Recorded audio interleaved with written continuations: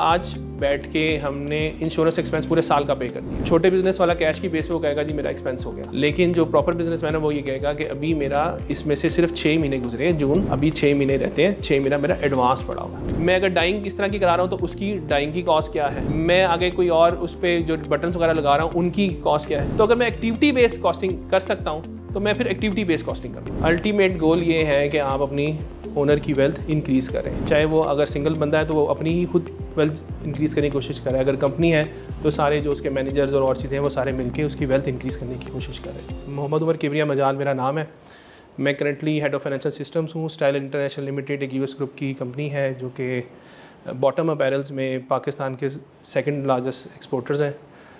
मैं वहाँ पे फाइनेंशियल सिस्टम्स देखता हूँ। चार्टर्ड अकाउंटेंट हूँ मैं बाय प्रोफेशन मैट्रिक मैंने कुछ कैथीड्रल से किया है क्रेसेंट से एफएससी किया है, साथ मैंने CAT and B com parallel किया था। फिर मैंने ए सी सी ए किया था और उसके बाद फिर मैंने सी ए किया मेजर स्किल्स के बारे में बात करूँ तो मैं फाइनेंशियल बेसिकली अकाउंटिंग करता रहा हूँ ऑडिटिंग करता रहा हूँ फाइनेंस देखता हूँ सिस्टम्स देखता हूँ तो ई आर पी सिस्टम्स देख रहा हूँ। इसके अलावा बिज़नेस प्रोसेस री इंजीनियरिंग करता रहा हूँ तो ये डिफरेंट मेरी स्किल्स हैं। वर्क एक्सपीरियंस में मैंने दो इंटर्नशिप्स की थी, एक साइमंस फार्मास्यूटिकल में, एक पाकिस्तान साइकिल इंडस्ट्री में और हाँ डेस्कॉन में भी की थी। और उसके बाद फिर मेरा कुछ वर्क एक्सपीरियंस है ये फर्गसन से मैंने आर्टिकल्स किए हैं और उसके बाद कुछ देर जॉब भी किया वहाँ पे डिफरेंट क्लाइंट्स पे रहा हूँ। जुल्फ़ार मैंने कंपनी चार्ट अकाउंटेंट्स में रहा हूँ। उसके अलावा शरीफ ग्रुप में as an head D R P रहा हूँ, कुछ उनके फाइनेंस एंड अकाउंट्स डिपार्टमेंट में रहा हूँ। उसके अलावा अशरफ शुगर में रहा हूँ डायनामिक इक्विपमेंट में रहा हूँ और ईगा ग्रुप में रहा हूँ। एग्जियम में रहा हूँ और इस वक्त करेंटली स्टाइलर्स में हूँ। ये कुछ की ट्रेनिंग्स हैं जिसका मैं पार्ट रहा हूँ। कुछ करवाई हैं कुछ की हैं और इसके अलावा भी बहुत सारी हैं जो कि यहाँ पे मेंशन नहीं है। ठीक है ये तो था मेरा इंट्रोडक्शन अब हम आ जाते हैं अपने कोर टॉपिक की तरफ़। बिज़नेस क्या होता है? कोई एक बंदा अगर थोड़ा सा एक्सप्लेन करना चाहे कि बिज़नेस किसे कहते हैं। कोई नहीं करना चाहेगा। कस्टमर की नीड पूरी करना। कस्टमर की नीड पूरी करना बिज़नेस कहते हैं। कोई भी चीज़ करते हैं बेसिकली कोई भी एक्टिविटी करते हैं, हम कमर्शियल एक्टिविटी करते हैं, ठीक है? चाहे वो इंडिविजुअल बेस पे हो रही है, किसी कॉर्पोरेट बेस पे हो रही है, कोई प्रोफेशनल एक्टिविटी कर रहे हैं आप, ठीक है? आपको कोई प्रोफेशनली ऐसी चीज़ आती है, वो आप एक्टिविटी करें। ये सारे के सारे बिज़नेस में आते हैं। इसमें बिज़नेस में ज़रूरी नहीं है कि गुड्स ही आप किसी को दे रहे हो, आप सर्विसेज़ भी दे सकते हैं, ठीक है? इधर आप गुड्स दे रहे हैं, इधर आप सर्विसेज़ दे रहे हैं तो ये सारी कोई एक्टिविटी अगर आप कहें तो इसको बिज़नेस ही कहते हैं। ये इंडिविजुअल बेस पे भी हो सकती है और बिज़नेस बेस पे भी हो सकती है। इंडिविजुअल को हम यूजली सोर प्रोपाइटर कहते हैं। जब दो तीन लोग मिल जाते हैं, उसको हम पार्टनरशिप कह देते हैं। ठीक है? और जब एक कंपनी फॉर्म हो जाती है तो वो कंपनी में बन जाती है कंपनी की भी डिफरेंट टाइप्स हैं प्राइवेट कंपनीज़ होती हैं पब्लिक कंपनीज़ होती हैं सिंगल मेंबर कंपनी होती हैं, फिर आप जब पब्लिक कंपनी में आ जाते हैं तो उसमें भी नॉन लिस्टेड कंपनीज़ होती हैं लिस्टेड कंपनीज़ होती हैं। मैं ये इस कॉर्पोरेट स्ट्रक्चर पे तो नहीं जा रहा, लेकिन जस्ट नो हाउ देने के लिए कि डिफरेंट टाइप्स आपके पास अवेलेबल होती हैं। अच्छा मेन जो इसमें कॉन्सेप्ट है, वो ये है कि इसमें कोई ना कोई ओनर होता है, ठीक है? कमर्शियल एक्टिविटी जो कर रहा है बेसिकली कोई ओन कर रहा है। तो बिज़नेस बेसिकली उसकी वेल्थ को इंक्रीज़ करने के लिए। अल्टीमेट गोल ये है कि आप अपनी ओनर की वेल्थ इंक्रीज़ करें। चाहे वो अगर सिंगल बंदा है तो वो अपनी ही खुद वेल्थ इंक्रीज़ करने की कोशिश करे अगर कंपनी है तो सारे जो उसके मैनेजर्स और और चीज़ें हैं, वो सारे मिलके उसकी वेल्थ इंक्रीज़ करने की कोशिश करें ठीक है? कंपनी को बड़ा करने की कोशिश करें और वेल्थ इंक्रीज़ करने की कोशिश करें। तो बेसिकली मैक्सिमाइजेशन ऑफ़ जो है ना प्रॉफिट और ग्रोथ ये आप देख रहे होते हैं। अच्छा बिज़नेस को अगर मैं मैयर करना चाहूँ कि मैं कैसे मैयर करूँ कि बिज़नेस में बढ़ाव आ रहा है नहीं आ रहा तो जनरली जो देखा जाता है वो देखा जाता है कि इसकी सेल्स कितनी है। सेल्स कितनी है प्रॉफिट कितना है। जितनी बड़ी सेल्स होगी, उतनी बड़ी कंपनी कंसिडर की जाती है। जितना ज़्यादा प्रॉफिट होगा, उतना बड़ा इदारा से कंसिडर किया जाता है कि इतना प्रॉफिट जनरेट कर रहा है। अच्छा अब जो नए ट्रेंड्स हैं, उसमें सिर्फ़ प्रॉफिट्स को नहीं देखा जाता, सिर्फ़ सेल्स को नहीं देखा जाता, और भी बहुत सारे फैक्टर्स आ गए हैं। देखा जाता है कि कस्टमर कितने आप रिटेन कर रहे हैं, नई प्रोडक्ट्स इनोवेशंस क्या लेके आ रहे हैं, लोगों पे इन्फ्लुएंस आप क्या डाल रहे हैं, ये सारे फैक्टर्स भी बहुत सारे जो है ना, वो अब इंक्लूड होने शुरू हो गए अब वो पुरानी कहानी थोड़ी सी लिमिटेड होती जा रही है। ठीक है? अच्छा अब प्रॉफिट अगर ज़्यादा है तो क्या बिज़नेस ग्रो कर रहा है? ये एक बड़ा क्वेश्चन है। आजकल के दौर में बहुत सारे बिज़नेस ऐसे हो गए हैं, जिसका प्रॉफिट तो आपको शायद बनता जा रहा है, लेकिन सस्टेनेबिलिटी प्रॉब्लम क्रिएट हो गई है। बिज़नेस सस्टेन नहीं कर पा रहा, क्योंकि कैश फ्लोज नहीं है। तो जितना इम्पोर्टेंट आपका प्रॉफिट है, उससे कहीं ज़्यादा इम्पोर्टेंट आपके कैश फ्लोज हैं। कि आपने कैश फ्लोज को किस तरह से मैनेज करना है? कि इवन दो आप चार साल, पाँच साल प्रॉफिट में तो हैं, लेकिन बहुत सारी कंपनीज़ हैं वो इन द एंड बंद हो जाती हैं, क्योंकि वो कैश फ्लो मेंटेन नहीं कर पाती। और बहुत सारी कंपनीज़ ऐसी होती हैं जो लगातार शायद पाँच छः साल डिप्रेशन में हैं प्रॉफिट्स तो नहीं है, लेकिन कैश फ्लो बेहतर होने की वजह से वो सस्टेन करती हैं और उसके बाद उनको मौका मिलता है, वो दोबारा ग्रो कर जाती हैं। तो कैश फ्लो उतनी ही इंपॉर्टेंट है, बल्कि उससे ज़्यादा इंपॉर्टेंट हो जाती है। ठीक है? तो हमें सिर्फ़ प्रॉफिट्स को नहीं देखना, सिर्फ़ सेल्स को नहीं देखना, उसकी कैश इनफ्लो और आउटफ्लो को भी मैनेज करना उतना ही ज़्यादा इंपॉर्टेंट हो जाता है। Cash inflow outflow basically finance generally manage कर रहा होता है। अभी मैं आगे जाऊँगा तो मैं आपको बताऊँगा कि अकाउंट्स क्या होता है फाइनेंस क्या होता है, ये चीज़ें थोड़ी सी हमें अलग करनी पड़ेंगी। तो इसीलिए फिर हम चलते हैं फाइनेंस एंड अकाउंट्स की तरफ़। फाइनेंस एंड अकाउंट्स के जो मेन की फ़ंक्शंस हैं, वो क्या क्या हैं? अच्छा जो आ, मैंने आपको बताया कि छोटी कंपनी होती जाएगी उसमें ये एक ही बंदा कर रहा होगा। जैसे सोल प्रोवाइडर वो यही एक ही बंदा ही सारा कुछ कर रहा है। जैसे जैसे कंपनी ग्रो करती रहती है ये डिपार्टमेंट्स अलग होते जाते हैं। और शायद इससे भी ज़्यादा डिपार्टमेंट्स बन जाते हैं बड़ी कंपनियों में। ठीक है? अगर हम इसको देखें तो जैसे पेबल्स बुकिंग है ये अक्सर बड़ी कंपनियों में एक अलग डिपार्टमेंट है। ठीक है? पेमेंट्स प्रोसेसिंग एक बड़ा अलग डिपार्टमेंट होता है।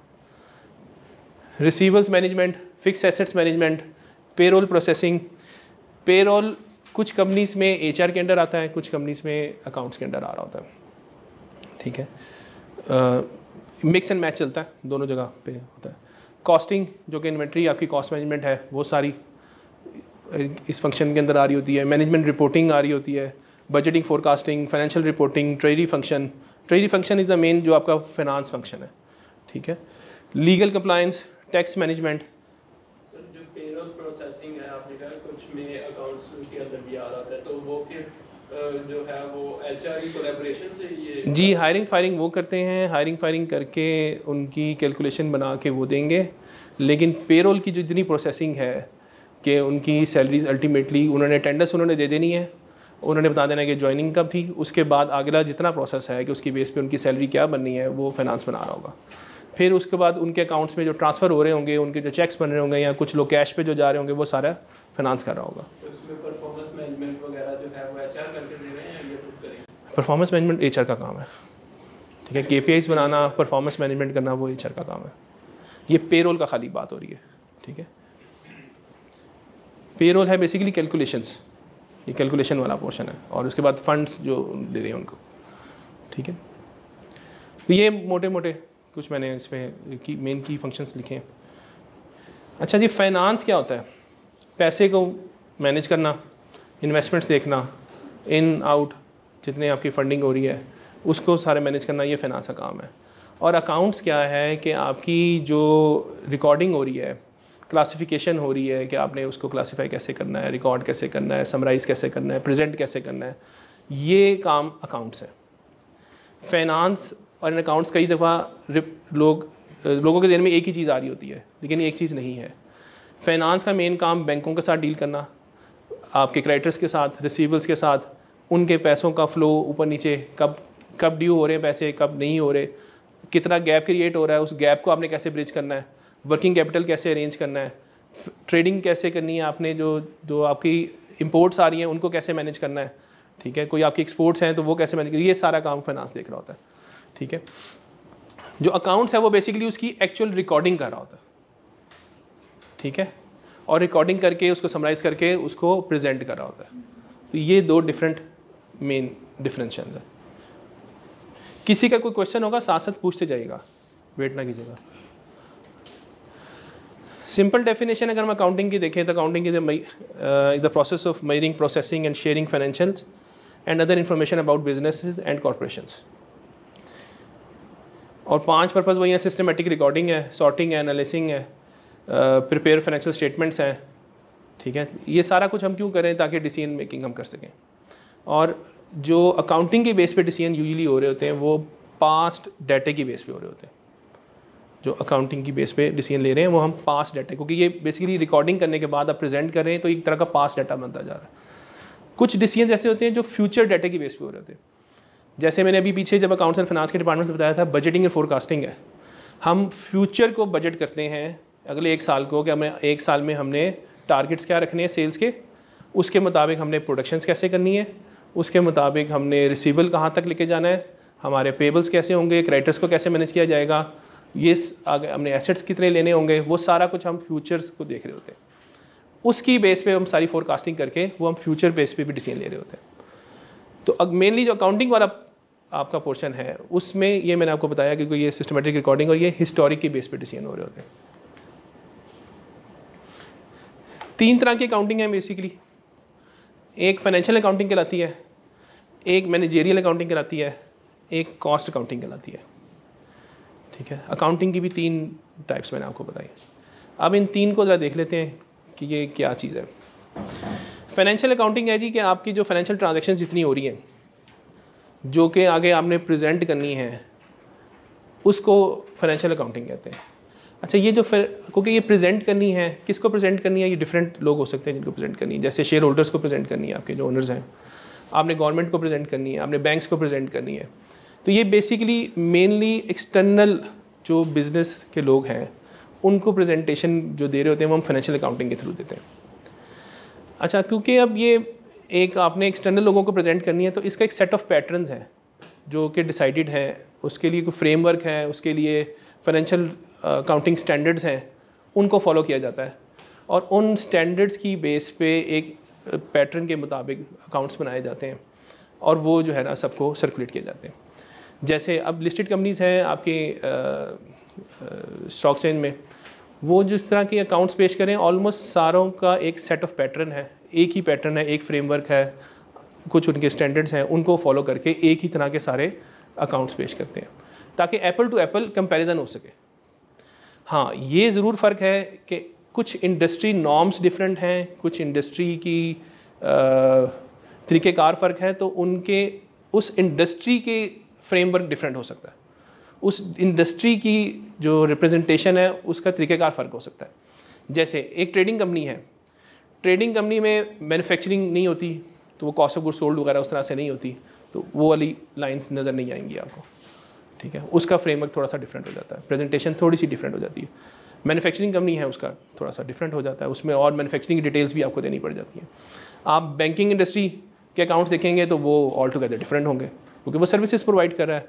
वो लोगों के पैसे ले रहा है, उस पर पैसे पे इनकम जनरेट हो रही है, वो वहाँ पे इन्वेस्ट कर रहा है, वो किस तरह से, वो थोड़ा सा चेंज हो जाएगा। इसी तरह आप इंश्योरेंस इंडस्ट्री में जाएँगे तो वहाँ पे प्रीमियम्स आ रहे हैं, वो आगे से री इंश्योरेंस भी करा रहा है तो उसकी ना ट्रेडिंग है, ना वो बेसिकली मैन्युफैक्चरिंग है, वो ऑल टुगेदर डिफरेंट है तो उसका सेट ऑफ़ पैटर्न थोड़ा सा चेंज हो जाएगा। तो ये इंडस्ट्री पे भी डिपेंड कर रहा है, ये बेसिकली कंपनीज़ पे भी डिपेंड कर रहा है, लेकिन जो भी आपकी इंडस्ट्री पैटर्न है, वो एक पैटर्न पे चल रही है। अगर सारी इंश्योरेंस कंपनीज़ एक ही पैटर्न को फॉलो कर रही हैं। इनको रेगुलेट किया जा रहा है यहाँ पे एस सी सी पी के through security exchange commission of Pakistan जो है ना, इन सबको रेगुलेट कर रहा है। ठीक है? तो ये बेसिकली फाइनेंशियल अकाउंटिंग जो है ना, वो फ्रेमवर्क के तहत हो रही है स्टैंडर्ड्स के तहत हो रही है, और उस पैटर्न को फॉलो किया जा रहा है। वो क्या है, अभी हम देखेंगे आगे, कुछ थोड़ा सा बात करते हैं। फाइनेंस जो है, वो फोकस कर रहा है प्लानिंग एंड डायरेक्टर और इस पर और अकाउंटिंग जो है, वो रिकॉर्डिंग पे दो तरह की मेनली अकाउंटिंग हो रही है। कैश बेस अकाउंटिंग चलती है क्रूअल बेस अकाउंटिंग चलती है। कैश बेस अकाउंटिंग जो छोटा बिज़नेस है वो यूजली कैश बेस अकाउंटिंग को फॉलो कर रहा होता है। लेकिन जितने बड़े बिजनेसेस हैं वो अक्रूवल को करते हैं। अक्रूवल क्या है? कि आपकी चीज़ अगर ड्यू हो गई है तो आप रिकॉर्ड कर लेंगे। अगर अभी ड्यू नहीं हुई तो हम उसको रिकॉर्ड नहीं करेंगे। जैसे मैंने आ, कुछ चीज़ बनाई है, अभी सेल करनी है, जब तक वो चीज़ अगले तक डिलीवर नहीं होती, हम उसको सेल रिकॉर्ड नहीं करते। ठीक है? इन ट्रांजिट अगर है तो नहीं। छोटा बिजनेसमैन ने बनाई है, वो हो सकता है अभी उसने अगले ने उठाई नहीं है कमिटमेंट किया है, वो अपनी उसकी सेल रिकॉर्ड कर लेगा। ठीक है? उसके पास पैसे आ गए हैं, वो कहता है, जी, चाहे माल उसका पड़ा है, वो कैश पे उसको सेल रिकॉर्ड कर लेगा। जबकि जो प्रॉपर बिजनेसेस हैं, वो जब तक चीज़ हैंड ओवर नहीं होती तब तक अगर किसी के पैसे आ भी गए तो उसको एडवांस ट्रीट करेंगे और जब वो चीज़ पहुँच जाएगी, तब उसको सेल्स में कन्वर्ट करेंगे। ठीक है? तो इसको हम कहते हैं क्रूअल बेस अकाउंटिंग फिर एक्सपेंस हमने आज बैठ के हमने इंश्योरेंस एक्सपेंस पूरे साल का पे कर दिया। छोटे बिज़नेस वाला कैश की बेस पे वो कहेगा, जी, मेरा एक्सपेंस हो गया।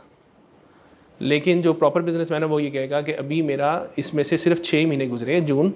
अभी छः महीने रहते हैं छः महीना मेरा एडवांस पड़ा हुआ तो छः महीने को वो एक्सपेंस ट्रीट करेगा छः महीने को वो एडवांस ट्रीट करेगा। तो ये अक्रूवल बेस अकाउंटिंग है। आजकल के दौर में अक्रूवल बेस अकाउंटिंग चलती है। मेनली अक्रूवल बेस ताकि एग्जैक्ट मैचिंग कॉन्सेप्ट के तहत आपको पता चले कि इस वक्त मेरा करंट सिचुएशन क्या है। ठीक है? कैश को बता हम कैश फ्लो में फिर मैनेज कर रहे होते हैं कि कैश फ्लो मैनेजमेंट हमारी क्या है। अकाउंट्स जो भी बनते हैं अकाउंटिंग जब भी होती है, इन पाँच हेड्स में होती है। हम देखेंगे फाइनेंशियल स्टेटमेंट्स भी देखेंगे तो उसमें भी हमें ये पाँच हेड मेनली नज़र आएँगे। ब्रॉडर एक्सपेक्ट की बात हो रही है, इनके नीचे डिफरेंट हेड्स हैं, सब हेड्स होंगे और चीज़ें भी होंगी।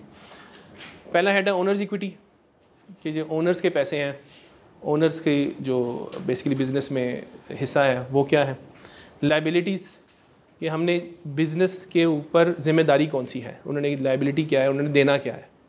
जैसे बैंक से कोई पैसे लिए हैं तो वापस देने हैं। क्रेडिटर सप्लायर से कोई लिया हुआ है, वो देना है। गवर्नमेंट की ड्यूज़ ड्यू हुए हैं, वो हमने उनको देने हैं। एम्प्लॉयज़ के ड्यूज़ ड्यू हैं, वो हमने देने हैं। हमारे को इंश्योरेंसेस ड्यू हुई हुई हैं, कोई और चीज़ें हैं, वो हमने पे करनी है। वो ये लाइबिलिटीज़ में हम कवर करेंगे।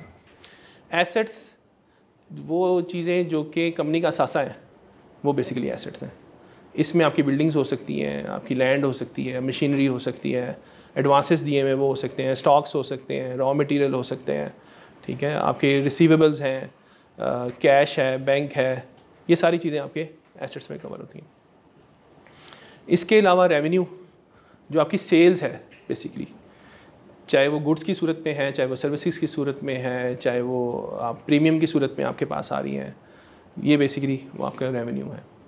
और एक्सपेंसेस फॉर ऑब्वियस जो आप खर्चा कर रहे हैं लेकिन ये वो वाला खर्चा है, मैंने आपको बताया कि अक्रूवल बेस पे जनरली आजकल के दौर में अक्रूवल बेस पे ये चल रहा होता है। अगर आपने कैश एक्स्ट्रा दिया हुआ है तो वो हम एडवांसेस में उसको ट्रीट करते हैं, ठीक है? जब जितनी देर पीरियड का आपका वो उसका पीरियड गुजर चुका है, उसको हम एक्सपेंस ट्रीट करते हैं। बिज़नेस की जब हम अकाउंटिंग की रिकॉर्डिंग की बात कर रहे होते हैं तो डेबिट क्रेडिट हम इसको कर रहे होते हैं। डेबिट कहते हैं या क्रेडिट इसका कोई लफ्ज़ी मायने नहीं है। लेकिन हम ये करते हैं कि हर चीज़ को बैलेंस लेके चलते हैं। कि एक चीज़ को डेबिट करेंगे तो दूसरी को क्रेडिट करेंगे। जो अभी हमने हेड्स डिस्कस किए थे, इसमें से कुछ हेड्स डेबिट साइड के हैं, कुछ हेड क्रेडिट साइड के हैं। ठीक है? जैसे मैं अगर वापस जाऊँ, थोड़ा सा आइडिया देता हूँ आपको। ओनर्स इक्विटी क्रेडिट नेचर का है लाइबिलिटीज़ क्रेडिट नेचर का है रेवेन्यू क्रेडिट नेचर का है। ये तीन जो है ये क्रेडिट नेचर के हैं। ये जब भी इंक्रीज़ हो रहे होंगे तो क्रेडिट हो रहे होंगे और जो एसेट्स एंड एक्सपेंसेस है वो जब भी इंक्रीज़ हो रहे होंगे वो डेबिट हो रहे होंगे। ठीक है? तो वो डेबिट नेचर के हैं। जिन्होंने अकाउंटिंग पढ़ी है थोड़ा सा उन, उनको ये आइडिया होगा। अच्छा अब जो भी आप रिकॉर्डिंग कर रहे हैं वो डेबिट एंड क्रेडिट में कर रहे हैं तो आप फॉर ऑब्वियस रीज़न चीज़ों को बैलेंस लेके चल रहे हैं ताकि जो जितना डेबिट है उतना ही क्रेडिट हो। इसके करने का पर्पज़ ये है कि इन द एंड आप जो है वो बैलेंस शीट बना रहे हैं अपने बिज़नेस की। आप बताते हैं कि जी मेरी पोजीशन क्या है? इसे कहते हैं स्टेटमेंट ऑफ़ फाइनेंशियल पोजीशन तो स्टेटमेंट ऑफ़ फाइनेंशियल पोजीशन है वो, क्योंकि उन पाँच हेड्स पे डिपेंड करती है और वो पाँच हेड्स आपके बैलेंस होने चाहिए। आपको पता होना चाहिए कि मैंने जितने पैसे इंजेक्ट किए थे, क्या मेरे उतने ही एसेट्स हैं? क्या मैंने जितनी लाइबिलिटीज़ ओन की थी, क्या उसने उतने एसेट्स जनरेट किए ठीक है? क्या मैंने जो प्रॉफिट कमाया था वो अल्टीमेटली ओनर्स इक्विटी का पार्ट बने या मेरे को अगर एक्सपेंस किया है तो वो ओनर्स इक्विटी में से फाइनल माइनस हुए हैं? तो ये सारी चीज़ें जो है ना, वो फाइनल हो रही होती हैं। सेकंड हमने बात करते हैं मैनेजेरियल अकाउंटिंग की। पहले अभी हमने फाइनेंशियल अकाउंटिंग थोड़ा सा देखा कि क्या होती है। अब हम देखते हैं कि मैनेजेरियल अकाउंटिंग क्या होती है। आपकी जो इंटरनल जितनी रिपोर्टिंग हो रही होती है यूली डेली बेस पे हो रही है, वीकली बेस पे हो रही है, मंथली बेस पे हो रही है, वो हर डिपार्टमेंट अपनी अपनी रिपोर्टिंग कर रहा है। इसका जो मैनेजेरियल अकाउंटिंग है, वो सिर्फ़ अकाउंट्स डिपार्टमेंट में नहीं हो रही, वो एचआर डिपार्टमेंट में भी हो रही है, वो सेल्स में भी हो रही है। हर कोई अपनी सेल्स को देख, सेल डिपार्टमेंट में सेल्स को देख रहा है, अपने कस्टमर्स को देख रहा है, वो डेली बेस पे कुछ ना कुछ रिपोर्ट्स बना रहे हैं। ये बेसिकली इंटरनल नेचर की हैं, अपने हेड्स के लिए हैं। जो मैनेजर्स बैठे हुए हैं या जो वहाँ पे मैनेजमेंट बैठी हुई है उनके लिए बन रही है। तो ये सारी मैनेजमेंट रिपोर्टिंग मैनेजमेंट अकाउंटिंग का पार्ट होती है। तो अकाउंट्स डिपार्टमेंट के अंदर भी एक ऐसा ही पोर्शन है जो कि डेली बेस पे जो रिपोर्ट्स जनरेट कर रहा है कुछ समराइज शक्ल में है कुछ डिटेल्ड की शक्ल में है वो इंटरनल यूज़ के लिए है तो वो मैनेजर मैनेजेरियल अकाउंटिंग का पार्ट है। इसका कोई सेट ऑफ़ पैटर्न नहीं है फिक्स नहीं है। ये हमारी नीड के मुताबिक है। ठीक है? आ, जैसे डेली बेस पे लोग देख रहे होते हैं कि मेरे इस वक्त बैंक के बैलेंसेस क्या है। अब उसका कोई सेट ऑफ़ पैटर्न नहीं उसमें हो सकता है सिर्फ़ बैंक्स के नाम और आगे उनके बैलेंसेस लिखे हों। एक कंपनी ऐसे हो, वो देख रही हो कि जी, मेरा कल का बैलेंस कितना था, उसमें कल डेबिट कितना आया, कल क्रेडिट कितना आया, और अब क्लोजिंग बैलेंस क्या और एक्सपेक्टेड कितना है। हर किसी के देखने का एंगल डिफरेंट है। तो ये उस तरह से रिपोर्टें बन रही हैं। तो ये कोई फिक्स फॉर्मेट की बेस पे नहीं है। ये हर एक की अपनी नीड की बेस पे है। ठीक है? इसको हम कहते हैं मैनेजेरियल अकाउंटिंग ये बेसिकली जितने आपके operations day to day operations जितने मीटअप हो रहे हैं, उनको कंट्रोल करने के लिए, उनको रेगुलेट करने के लिए जो है रिपोर्टिंग हो रही है, उसे मैनेजरियल अकाउंटिंग कहते हैं। ये आपकी प्लानिंग में काम करती है, आपकी कंट्रोल चीज़ें करने में काम आती है, उनकी डिसीज़न मेकिंग में डेली डिसीज़न मेकिंग में यही काम आती है। अच्छा अब क्या फाइनेंशियल अकाउंटिंग और मैनेजरियल अकाउंटिंग सेम है? मैंने थोड़ा सा बताने की कोशिश की है सेम नहीं है। वो क्यों सेम नहीं है? जो आपकी फाइनेंशियल अकाउंटिंग है, वो एक सेट ऑफ़ पैटर्न पे हो रही है स्टैंडर्ड की बेस पे हो रही है फ्रेमवर्क बने हुए हैं एक्सटर्नल यूज़ के लिए हो रही है। जो आपकी मैनेजेरियल अकाउंटिंग है, वो ऐसा कोई पैटर्न नहीं है, कोई पीरियड नहीं है। अच्छा फिर जो फाइनेंशियल अकाउंटिंग है, वो यूजली जब बनती है, वो एक, या मंथ एंड की बनेगी क्वार्टर एंड की बनेगी ईयर एंड की बनेगी, या फिर हाफ़ ईयरली बनेगी। जनरली एक बड़ा पीरियड की बनती है। पंद्रह दिनों की नहीं बन रही होती। बीस दिनों की नहीं बन रही होगी। ठीक है? इस तरह की चीज़ें हम प्रेजेंट नहीं कर रहे होते। जबकि मैनेजरियल अकाउंटिंग में डे टू डे भी हो रही होती है उस घंटे घंटे की भी रिपोर्टिंग हो रही होती है कई जगहों पर कुछ ऐसी चीज़ें होती हैं इंपॉर्टेंट होती हैं, वो घंटे घंटे की भी रिपोर्टिंग होती है वहाँ पर ठीक है? तो इट ऑल डिपेंड्स कि आपकी रिक्वायरमेंट क्या है। अच्छा मैनेजेरियल अकाउंटिंग की अगर मैं कुछ थोड़ी सी एग्जांपल्स आपको दिखा सकूँ। जैसे कंपनी है एबीसी वो क्या कर रही है? अपनी बैंक की डेली बेस पे लिमिट्स और इस वक्त यूटिलाइजेशन देख रही है। कि जी मैंने प्लेज किया हुआ है, कोई फिम लिया हुआ है रनिंग फाइनेंस चल रहा है, उस वक्त मेरी, इस वक्त बैंक वाइज क्या पोजीशन है, कितनी लिमिट्स हैं, कितना मैं यूटिलाइज़ कर चुका कितना मेरा बैलेंस पड़ा हुआ है, वहाँ पर इंटरेस्ट रेट मेरे क्या चल रहे हैं, ताकि मुझे पता हो कि मैंने कौन सी पहले यूज़ करनी, कौन सी नहीं करनी, और आगे नीचे मुझे उसकी एक्सपायरी डेट और ये भी पता है कि जी ये मेरा मार्कअप है, ये उसके एल साइट है, इतना यूजेंस है, और इतनी मेरी एक्सपायरी डेट है। तो मुझे कौन से बैंक से अब अगली अगर एलसी खोलनी है तो कौन से खोलनी है? या कौन सी एल है जो कि अभी पहुँचने वाली है या पहुँच गई हुई है, ये रिटायर हो जाएगी तो मेरी यहाँ पे मज़ीद लिमिट्स बन जाएगी और मैं यहाँ पे मज़ीद एल भी खोल सकूँगा। ये कौन से बैंक है? मुझे इस वक्त कैश क्रंच है, मुझे भी चाहिए। किसका मार्कअप कम है? मैं उधर से पहले वर्किंग कैपिटल यूटिलाइज़ कर लूँ। तो ये सारी चीज़ें कर रही होती हैं। तो ये कोई सेट ऑफ़ पैटर्न एग्जैक्ट नहीं है, हर कंपनी की नीड के मुताबिक। इसी तरह अगर हम देखें सेल्स एंड रिसीवल की एक रिपोर्ट है, जिसमें आपके इस वक्त करंट कैलेंडर ईयर चल रहा है, जिसमें external sale group sale total sale आ गई और लास्ट ईयर की कंपेरेटिव सेल आ गई। मंथ वाइज आपके पास है कि जी बैग्स कितने सेल हुए हैं, कितना रिसीवेबल है इस वक्त? एक्सटर्नल कितना मेरा ग्रुप का है, कितना मेरा टोटल है और लास्ट ईयर मेरा क्या चल रहा था और मेरी इस वक्त मैं किस पोजीशन पे खड़ा हूँ। इसी तरह कोई जोन वाइज हो सकती है रिपोर्टिंग मेरी कि मेरा लाहौर जोन है कोई डी जोन है टोटल लाहौर उसमें कन्वर्ट होता है। इस वक्त मेरे इस महीने की एक्चुअल सेल कितनी है? मेरा टारगेट क्या था? कितना मैं एक्सेस या शॉर्ट जा रहा हूँ? बैग्स की सूरत में। और कितना मेरा इस वक्त रिसीवल का मुझे टारगेट कितना मिला था? और मैं इस वक्त रिसीवल कितना खड़ा हुआ है मेरा? पिछले महीने मेरी क्या सिचुएशन थी? उसे कंपेयर करें। तो ये कोई सेट पैटर्न नहीं है। इसी तरह के आपके डिफरेंट इसी तरह आप कुछ सेल्स रिसीवल प्रोडक्शन की कुछ रिपोर्ट्स हैं। अच्छा फाइनेंस में आके ना बहुत सारी रिपोर्टिंग आपको ऐसा होता है कि शायद लगता है कि फ़ाइनेंस की नहीं है, लेकिन फ़ाइनेंस वाले कर रहे होते हैं। जैसे प्रोडक्शन आप कहेंगे कि शायद वो फाइनेंस का काम नहीं है, लेकिन वो फाइनेंस अकाउंट्स फाइनेंस उसको देख रही होती है। क्योंकि आगे टॉप मैनेजमेंट को अक्सर वो लोग प्रेजेंट नहीं कर पा रहे होते अकाउंट्स एंड फाइनेंस उसको प्रेजेंट कर रहा होता है। तो ये अकाउंट्स एंड फाइनेंस को मेन हब अक्सर कंसिडर किया जा रहा था। बहुत सारी एचआर की रिपोर्ट्स जो कि करनी एचआर को चाहिए, लेकिन अल्टीमेटली कंसोलिडेट फाइनेंस करके उसको दे रहा होता है, या अकाउंट्स डिपार्टमेंट उनको दे रहा होता है। तो ये परेशान नहीं होना कि आपको लगे कि जी for the face of it कि जी, ये प्रोडक्शन का नंबर यहाँ पे क्यों आ रहा है? वो तो अकाउंट्स को नहीं करना चाहिए। लेकिन वो अकाउंट्स वाले ही कर रहे होते हैं अक्सर। ठीक है? वही लियाजन कर रहे होते हैं, वही डाटा इकट्ठा कर रहे होते हैं। ये कुछ किसी कंपनी की एनिमल की उसकी डिटेल है कि उसके ये एनिमल्स हैं, उनके ये टैग्स हैं, ये उनकी ब्रीड्स हैं, ये हर्ड हैं, ये उनके स्टेटसेस हैं, ये उनकी कॉस्ट की सारी डिटेल है उनकी रिवेल्यूशन की डिटेल है और इस वक्त इसको क्यूमिलेटेड कहाँ पे करें। तो ये हर नीड के मुताबिक जो है ना, वो अलग से बन जाती है। ठीक है जी, वापस आते हैं अपने टॉपिक पर नेक्स्ट है जी कॉस्ट अकाउंटिंग अभी हमने देखा financial accounting managerial accounting third type है कॉस्ट अकाउंटिंग कॉस्ट अकाउंटिंग अपने नाम से पता चलता है जी कि हम कॉस्टिंग कर रहे हैं। ये जनरली जो मैन्युफैक्चरिंग कंपनीज़ जितनी होती हैं, या आप सर्विस प्रोवाइडर जितने हैं या कोई कॉन्ट्रैक्ट वाले जो काम कर रहे हैं, वो अपनी कॉस्टिंग लाजमी करते हैं। अच्छा कॉस्ट अकाउंटिंग क्या होता है कि आप जो एक प्रोडक्ट बना रहे हैं, उसकी आपको कॉस्ट क्या पड़ रही है? जब तक अगर आपको कॉस्ट का सही प्रॉपर आइडिया नहीं है तो आप उसको सेल प्राइस कैसे फाइनलाइज करेंगे? सेल प्राइस यूजली दो तीन तरह से फाइनलाइज होती है। एक ये कि मार्केट में ये चल रहा है तो आपको बेचना ही उतने का है, उससे ऊपर आप नहीं बेच सकते। तो आप फिर अपनी कॉस्ट को उससे कम बनाने की कोशिश करते हैं कि मुझे उससे सस्ता पड़ेगा तो मैं वह बेचूँगा। लेकिन आपको कॉस्टिंग फिर भी चाहिए कि एक्चुअली मुझे एक प्रोडक्ट बनाते हुए वो पड़ कितने की रही है। जनरली जब आप कोई चीज़ बना रहे होते हैं तो आप बल्क में बनाते हैं।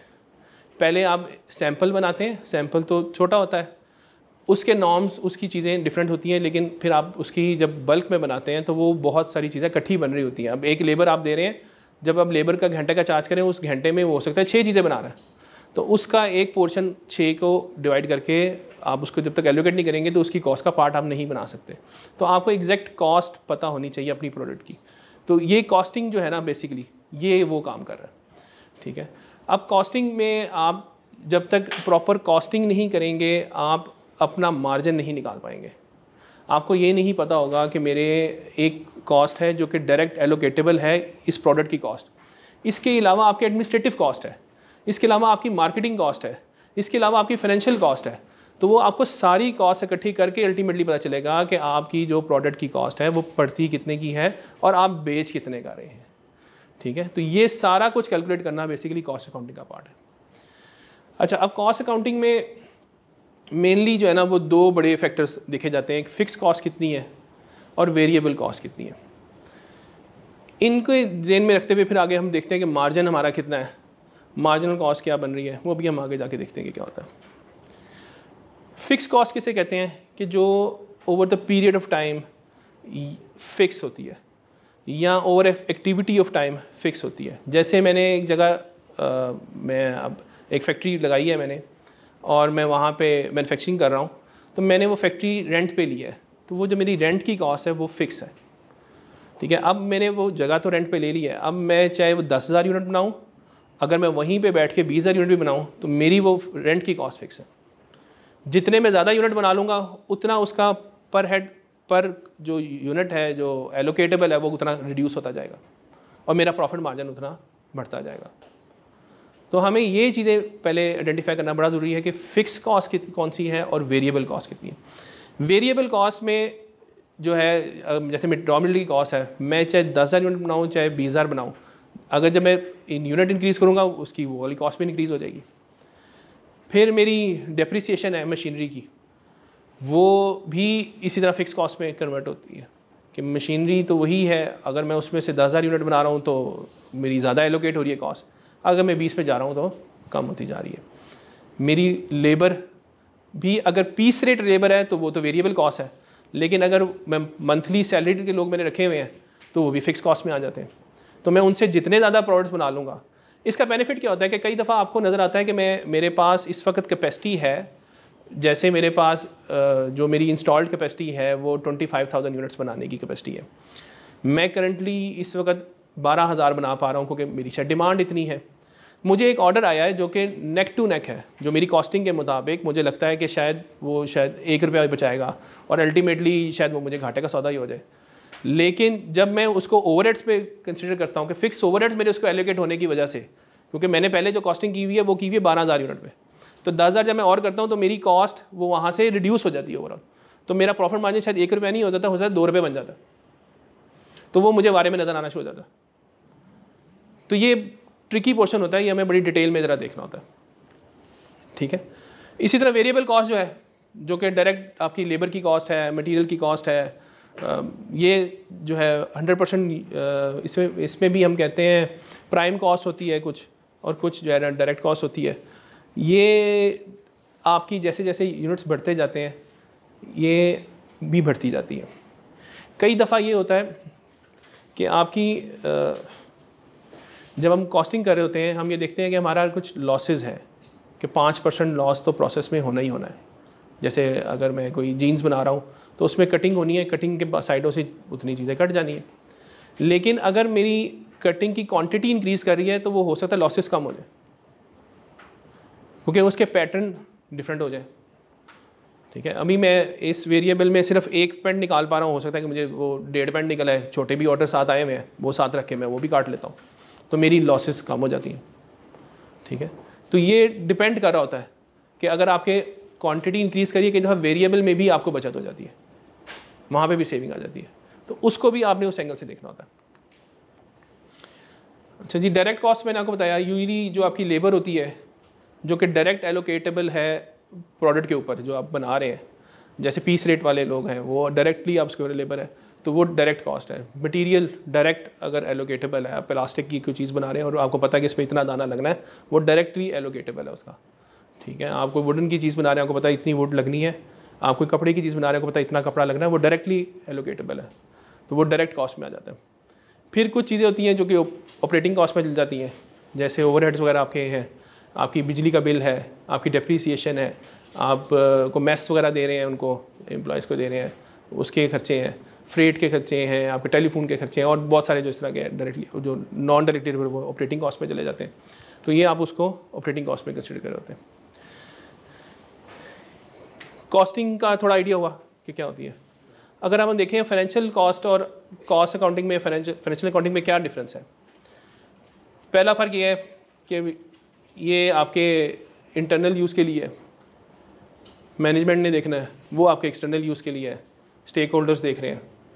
स्टेक होल्डर्स जो है वो ओनर्स भी हो सकते हैं बैंक्स भी हो सकते हैं गवर्नमेंट हो सकती है और इदारे हो सकते हैं। ये बजटिंग एंड कॉस्ट कंट्रोल के लिए होती है, वो प्रेजेंटेशन बिज़नेस फाइनेंशियल पोजीशन दिखाने के लिए होती है। ठीक है? इसमें कोई स्टैंडर्ड नहीं है कॉस्ट कॉस्टिंग में। हर एक की अपनी नीड के मुताबिक है, क्योंकि हर एक की प्रोडक्ट डिफरेंट है, उसके नॉर्म्स फ़र्क हैं इंडस्ट्री फ़र्क है। सोचने का अंदाज फ़र्क है कैलकुलेशन का वे ऑफ़ कैलकुलेशन डिफरेंस है।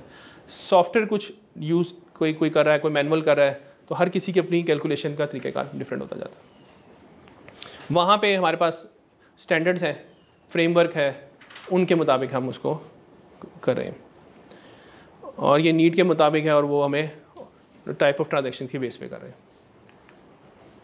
अच्छा जो कॉस्टिंग है, उसके भी ना कुछ टाइप्स हैं डिफरेंट टाइप्स की कॉस्टिंग हो रही है।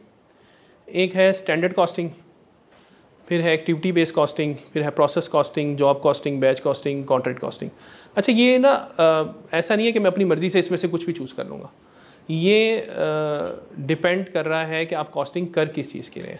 जैसे स्टैंडर्ड कॉस्टिंग क्या होती है कि मैं अगर एक ही तरह की प्रोडक्ट बना रहा हूँ ज्यूमिंगली मैं ये चेयर्स बना रहा हूँ तो मैं चेयर बनाते हुए पहले जब मैं सैंपल बनाया तो मैंने एक स्टैंडर्ड बनाया। मैंने कहा जी, इतनी लकड़ी लगेगी, इतने का फॉर्म लगेगा, इतने का कपड़ा लगेगा। मैंने वो एक्चुअली मार्केट से लिया, उसको मैयर किया मैयर करके एक सैंपल बनाया। सैंपल की मैंने कॉस्ट कैलकुलेट की तो वो मैंने उसका एक स्टैंडर्ड बना लिया कि यार ये मुझे चेयर पंद्रह सौ में जो है ना, वो पड़ रही है।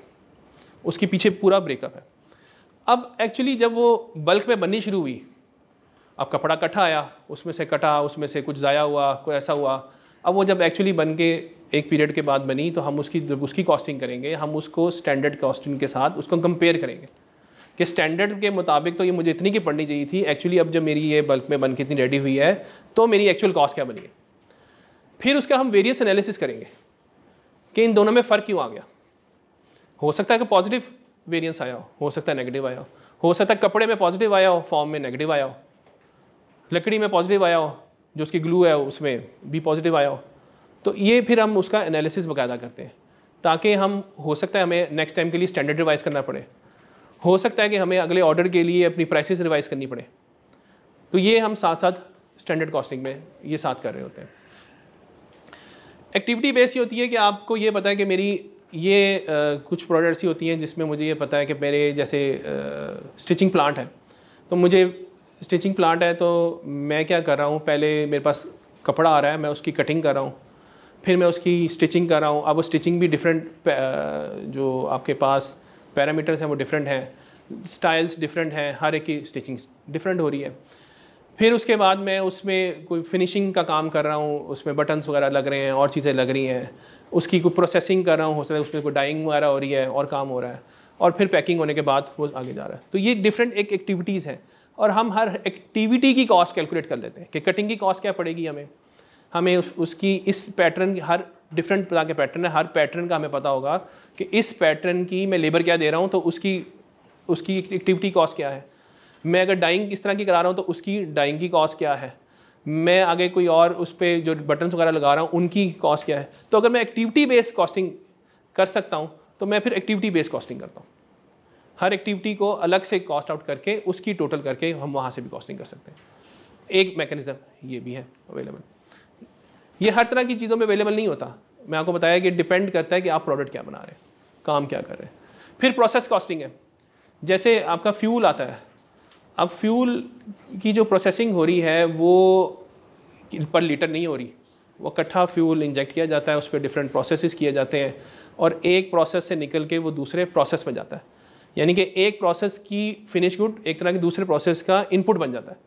और हर एक प्रोसेस में से शायद कुछ बाय प्रोडक्ट्स भी निकल रहे होते हैं। और वो दो तीन प्रोसेस से होने के बाद फाइनल फिनिश गुड आपके पास अवेलेबल होता है। इस केस में फिर आपको प्रोसेस कॉस्टिंग की ज़रूरत पड़ जाती है। आप हर प्रोसेस की अलग कॉस्टिंग करते हैं। उसकी जो फाइनल आउटपुट होती है, वो अगले प्रोसेस की इनपुट बनाते हैं। उसमें से जो आप चीज़ें निकालते हैं, उसको बाय प्रोडक्ट्स की सूरत में बनाते हैं।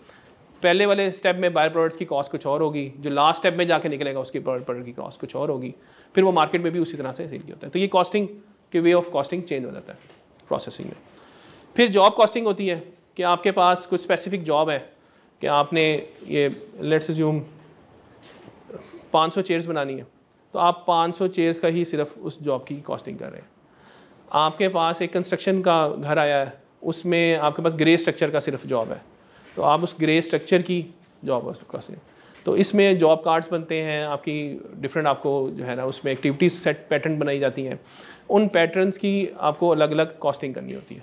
तो ये हर जॉब पे ये चीज़ें चेंज हो जाती हैं। क्योंकि अब जब घर बनना है तो हर घर ने डिफरेंट तरह से बनना है। हर घर का नक्शा फ़र्क होना है। हर घर की पैरामीटर्स फ़र्क होंगे मेज़रमेंट फ़र्क होगी। तो हर जॉब को अलग से कंसिडर किया जाएगा। फिर बैच कॉस्टिंग होती है। जैसे आपकी फार्मास्यूटिकल इंडस्ट्री है, उसमें एक ही तरह की मेडिसिन बन रही हैं पूरे पूरे बैच बन रहे हैं। आपकी ये जो है बॉटलिंग इंडस्ट्री है, वहाँ पे बैच बन रहा है। तो वो पूरे बैच की इकट्ठी कॉस्टिंग हो रही है।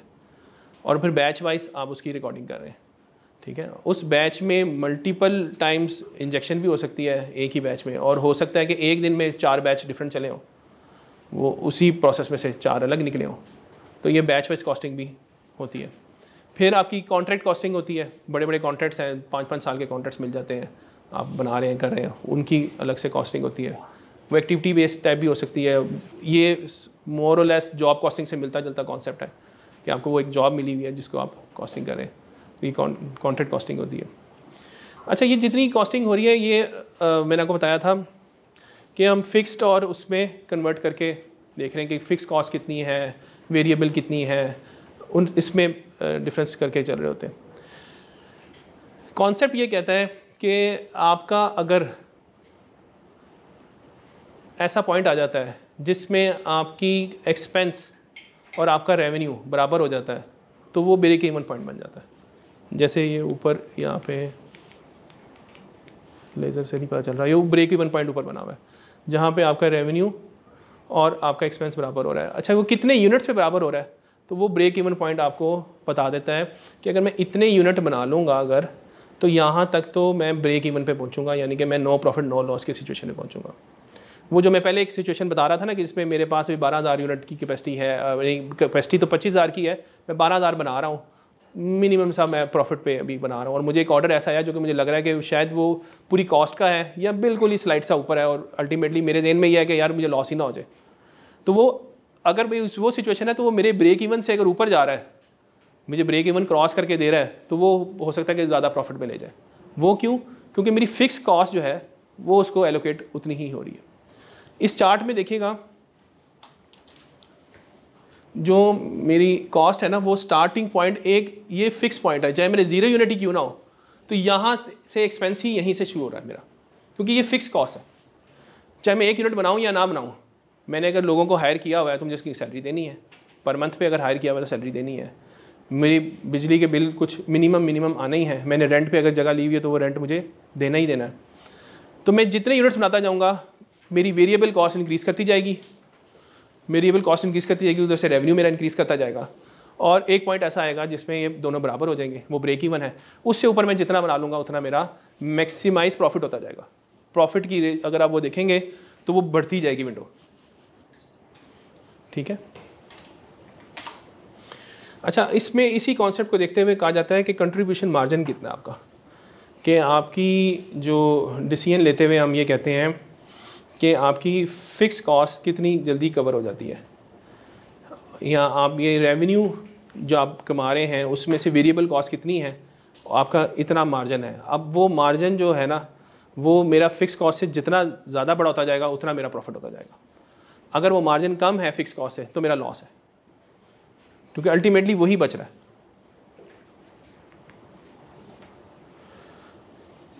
अब हम आते हैं जी अपनी फाइनेंशियल स्टेटमेंट्स की तरफ़ मेनली फाइनेंशियल स्टेटमेंट्स जो होती हैं वो पाँच मेन हेड्स मेन टाइप्स में स्प्लिट हुई हुई हैं. फाइनेंशियल पोजीशन जिसे आम लफ्ज़ों में यूजली बैलेंस शीट भी कहा जाता है. बड़ा पुराना नाम है बैलेंस शीट बहुत सारे लोगों को पता है. जो अकाउंट्स के नहीं भी हैं, उनको पता है जी बैलेंस शीट होती है. आजकल इसका लेटेस्ट नाम financial statement of financial position कहा जाता है. इसी तरह प्रॉफिट लॉस जिसको statement of profit loss and other comprehensive income कहा जाता है. फिर चेंजेस इन इक्विटी स्टेटमेंट होती है कैश फ्लो स्टेटमेंट होती है, और इन सब की सपोर्टिंग के लिए notes to the financial statements होते हैं। ये एक सेट ऑफ़ पैटर्न है जो कि इंडस्ट्री में चलता है, और इसी की बेस पे फाइनेंशियल स्टेटमेंट्स बनती हैं, इसी को रेगुलेट किया जा रहा होता है। अच्छा इसकी जो है टाइम फ्रेम एनुअल हो सकता है क्वार्टरली हो सकता है हाफ़ ईयरली हो सकता है, ठीक है? वो डिफरेंट डिपेंड करता है क्या है। अच्छा इसके अलावा हर कंपनी का ईयर एंड भी डिफरेंट हो सकता है। जनरली एस सी ने जो जनरल नोटिफिकेशन है, वो ये है कि आप जुलाई टू जून अकाउंट्स बनाएँगे। तो हमारे यहाँ 90 परसेंट से ज़्यादा के जो अकाउंट्स बनते हैं, वो जुलाई टू जून बनते हैं। फ़र्स्ट ऑफ़ जुलाई से लेके थर्टी जून तक हर साल। कुछ इंडस्ट्रीज़ को एग्जामेशन हैं, जैसे बैंकिंग जो है, वो जनवरी टू दिसंबर बनाती है। इंश्योरेंसेस जनवरी टू दिसंबर बनाती है। कुछ की नेचर इस तरह की होती है कि वो फॉरेन सब्सिडी का पार्ट है या कुछ और उनकी कोई स्पेशल रेगुलेशन है तो वो स्पेशल ईयर के लिए अप्लाई करती हैं और अगर उनको परमिशन मिल जाती है तो वो भी उस ईयर पे जा सकते हैं। पहले किसी ज़माने में टेक्सटाइल जो है वो अक्टूबर टू सितंबर होती थी, वो भी अब जुलाई टू जून है। शुगर इंडस्ट्री है जो कि अक्टूबर टू सितंबर बनती है तो इट ऑल डिपेंड्स कि वो क्या है। तो ये जो भी अकाउंट्स बन रहे होंगे, फिर उस पीरियड के हिसाब से बन रहे होंगे। जो मैं क्वार्टर कह रहा हूँ तो ये उसकी जो ईयर एंड है, उसका फाइनेंशियल है, उसके मुताबिक होगा। अच्छा मेरे पास कुछ स्टेटमेंट्स हैं, अगर इनमें से आप कहें तो किसी, किसकी दिखाऊँ आपको? मैं आपको फाइनेंशियल स्टेटमेंट दिखाना चाह रहा हूँ। नाम है, अगर कोई हाँ जी? नेस्ले खोल लेते हैं। अच्छा जो फाइनेंशियल स्टेटमेंट है ना, वो सिंपल अभी बात तो बड़ी मैंने आसान आसान की, लेकिन इतनी सिंपल होती नहीं है। अच्छा जी, ये नेस्ले की फाइनेंशियल स्टेटमेंट है। अच्छा किसी भी लिस्टेड कंपनी की अगर आप फाइनेंशियल स्टेटमेंट देखना चाहें तो आप उसकी वेबसाइट खोलें। लिस्टेड कंपनी देखना चाहें तो आप स्टॉक एक्सचेंज की वेबसाइट खोलें, आपको बोल जाएगा जी लिस्टिंग कंपनीज़ कौन सी हैं। लिस्टेड कंपनीज़ की वेबसाइट इन्वेस्टर्स क्योंकि उसमें लोग पब्लिक हैं जो कि इन्वेस्ट कर रहे हैं तो वो अवेलेबल होती हैं उनकी वेबसाइट्स पे। स्टॉक से भी कुछ जगहों पे अवेलेबल है लेकिन सिंपल तरीका ये है कि अगर आप आ, किसी की भी कंपनी की फाइनेंशियल स्टेटमेंट देखना चाह रहे हैं किसी लिस्टेड कंपनी का नाम सोचें या देखें उसकी वेबसाइट पे जाएँ वहाँ पे इन्वेस्टर्स का आपको टैब मिलेगा और उसके अंदर फाइनेंशियल स्टेटमेंट्स अवेलेबल होंगी। वहाँ पे आपके पास आपकी क्वार्टरली एनअली और हाफ़ ईयरली भी अवेलेबल होती है। ये 2022 की शायद एनुअल स्टेटमेंट है। अच्छा अब इसमें सिंपल मैंने वैसे तो अभी नाम लिए थे कि वो पाँच हेड्स में अवेलेबल होगी। वो जो पाँच हेड्स है ना, वो जाके शुरू हो रहे हैं शायद यहाँ पे जाके। ये 66 पेज पे। ये 66 पेज से पहले जितने पेजेस हैं, ये सारी कंपनी की अपनी इन्फॉर्मेशन है। वो पहले अपने बारे में बताएगी कि हम क्या कर रहे हैं, कैसे कर रहे हैं, और बाद में जाके वो फिर अपनी फाइनेंशियल पोजीशन शो करती है। अच्छा और उससे भी पहले फाइनेंशियल पोजीशन शो करने से पहले एक ऑडिटर की इंडिपेंडेंट ऑडिटर की स्टेटमेंट लगी होगी, जो 62 पे लगी हुई है। कि जी, ये जो फाइनेंशियल पोजीशन है, ये हमने ऑडिट किए हैं, हमने देखे हैं, इसमें कोई ऐसी चीज़ तो नहीं है, हमें नज़र नहीं आई। हमने रीज़नेबल एश्योरेंस से ये कहते हैं कि ट्रू एंड फेयर व्यू दे रही है। हंड्रेड परसेंट एक्यूरेसी का तो वो भी नहीं कह सकते, क्योंकि वो वहाँ पे मौजूद नहीं होते हर वक्त। वो सैंपल बेस पे उसको चेक करते हैं। आते हैं ऑडिट करते हैं और उसके बेस पे वो, इस पर रीज़नेबल एश्योरेंस देते हैं। और जहाँ पे उनको लगता है कि ये रीज़नेबल एश्योरेंस जिस एरिया में नहीं है, वहाँ पे वो मेंशन कर देते हैं कि इन इन चीज़ों के अलावा ये हमारे मुताबिक इस तरह से नहीं है मैनेजमेंट ने इस तरह प्रेजेंट किए हैं, हमारा ख्याल है कि इस तरह से होनी चाहिए। बाकी सारा कुछ ट्रू एंड फेयर व्यू दे रहा है। तो इससे पहले ये सारा कुछ जो आपको नज़र आ रहा है, ये उसकी अपनी राम कहानी है। थोड़ा सा देख लेते हैं कि क्या है। उन्होंने अपने पर्पज़ के बारे में बताया एम्बिशन के बारे में बताया, चीज़ें बताई हैं। डायरेक्टर्स की रिपोर्ट है साथ, जिसमें उन्होंने फाइनेंशियल परफॉर्मेंस अपनी पेश की है 2022 की साथ कंपेयर किया है इक्कीस को और साथ चेंज बता रहे हैं। ठीक है? डायरेक्टर रिपोर्ट तीन चार सफ़ों की यूजली होती है, उसमें वो फिर बताते हैं कि हमारी वैल्यूज़ क्या हैं, हम कहाँ पे इंप्रूवमेंट कर रहे हैं, कैसे कर रहे हैं। बेसिकली शेयर होल्डर को बताया जा रहा है कि कंपनी क्या कर रही है और उसके आगे प्लान क्या है, क्या ग्रोथ आ रही है, अगर कोई प्रॉब्लम आ रही है तो वो कैसे आ रही है। तो उस फाइनेंशियल पोजीशन पे ले जाने से पहले उसको मेंटली सारी चीज़ों से प्रिपेयर किया जा रहा है। ये उसके एनेक्जर्स हैं डायरेक्टर रिपोर्ट के। फिर चेयरमैन की रिपोर्ट है। चेयरमैन ने भी अपने कमेंट्स दिए हुए हैं। फिर कंपनी की परफॉर्मेंस एट अ ग्लांस उन्होंने देने की कोशिश की है कि जी हम पिछले सालों में सेल से कहाँ से कहाँ चले गए अर्निंग पर शेयर में कहाँ चले गए मार्केट कैपिटलाइजेशन कहाँ जा रही है रिटर्न ऑन इक्विटी कहाँ जा रहा है।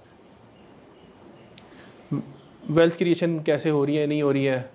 की फाइनेंशियल डाटा सेल्स का, आपका डिफरेंट तरह का डिफरेंट एनालिसिस हुए हैं। पैटर्न ऑफ़ शेयर होल्डिंग क्या है इस वक्त हमारी? कितने लोग हैं जिनके पास इतने शेयर्स हैं? कितने लोग हैं जिनके पास इतने शेयर हैं? क्लासिफिकेशन ऑफ़ शेयर्स का कैटेगरी कैसे है? फिर कंप्लायंस स्टेटमेंट एक होती है, जो कि लिस्टेड कंपनीज़ को पूरी करनी होती है। उसके बारे में है। इसके ऊपर एक इंडिपेंडेंट ऑडिटर की रिव्यू भी होता है कि वाकई ये कंप्लाइंस उस तरह से हो भी रही है कि नहीं हो रही। तो ये वो लगी हुई है। बोर्ड ऑफ़ डायरेक्टर्स की सारी है कि बोर्ड ऑफ़ डायरेक्टर्स कौन कौन है? उसमें से ऑडिट कमेटी को कौन देख रहा है? ह्यूमन रिसोर्स को कौन देख रहा है? आपके बैंक्स कौन से हैं? फैक्ट्रीज कहाँ कहाँ पे हैं? ऑडिटर्स कौन है? शेयर रजिस्ट्रार कौन है? लीगल एडवाइज़र कौन है? ये आपकी जो जनरल एनुअल मीटिंग आ रही है, कब आ रही है, किधर आ रही है उसमें क्या चीज़ें डिस्कस होनी है एजेंडा पॉइंट उनके क्या है। छोटी कंपनी सिर्फ़ अपनी फाइनेंशियल पोजीशन वगैरह बना लेती है। जितनी बड़ी कंपनीज़ हैं और ख़ास तौर पे जिनका आगे लिस्टिंग कराए, उन्होंने पूरी प्रॉपर अपनी प्रेजेंटेशन बनाते हैं हर साल। यहाँ जाके जी फाइनेंशियल स्टेटमेंट सब आपकी स्टार्ट हो रही है। इसमें सबसे पहले इंडिपेंडेंट ऑडिटर की रिपोर्ट है, जिसमें आपको वो बता रहा है कि मैं कब किस चीज़ का ऑडिट कर रहा हूँ और यहाँ पे जाके कहीं कह रहा होगा in the manner so required and respectively give a true and fair view the statement of companies affairs of इकतीस दिसंबर 2022 ये वाली लाइन यहाँ पे आके वो कह रहा है कि ट्रू एंड फेयर व्यू दे रही है।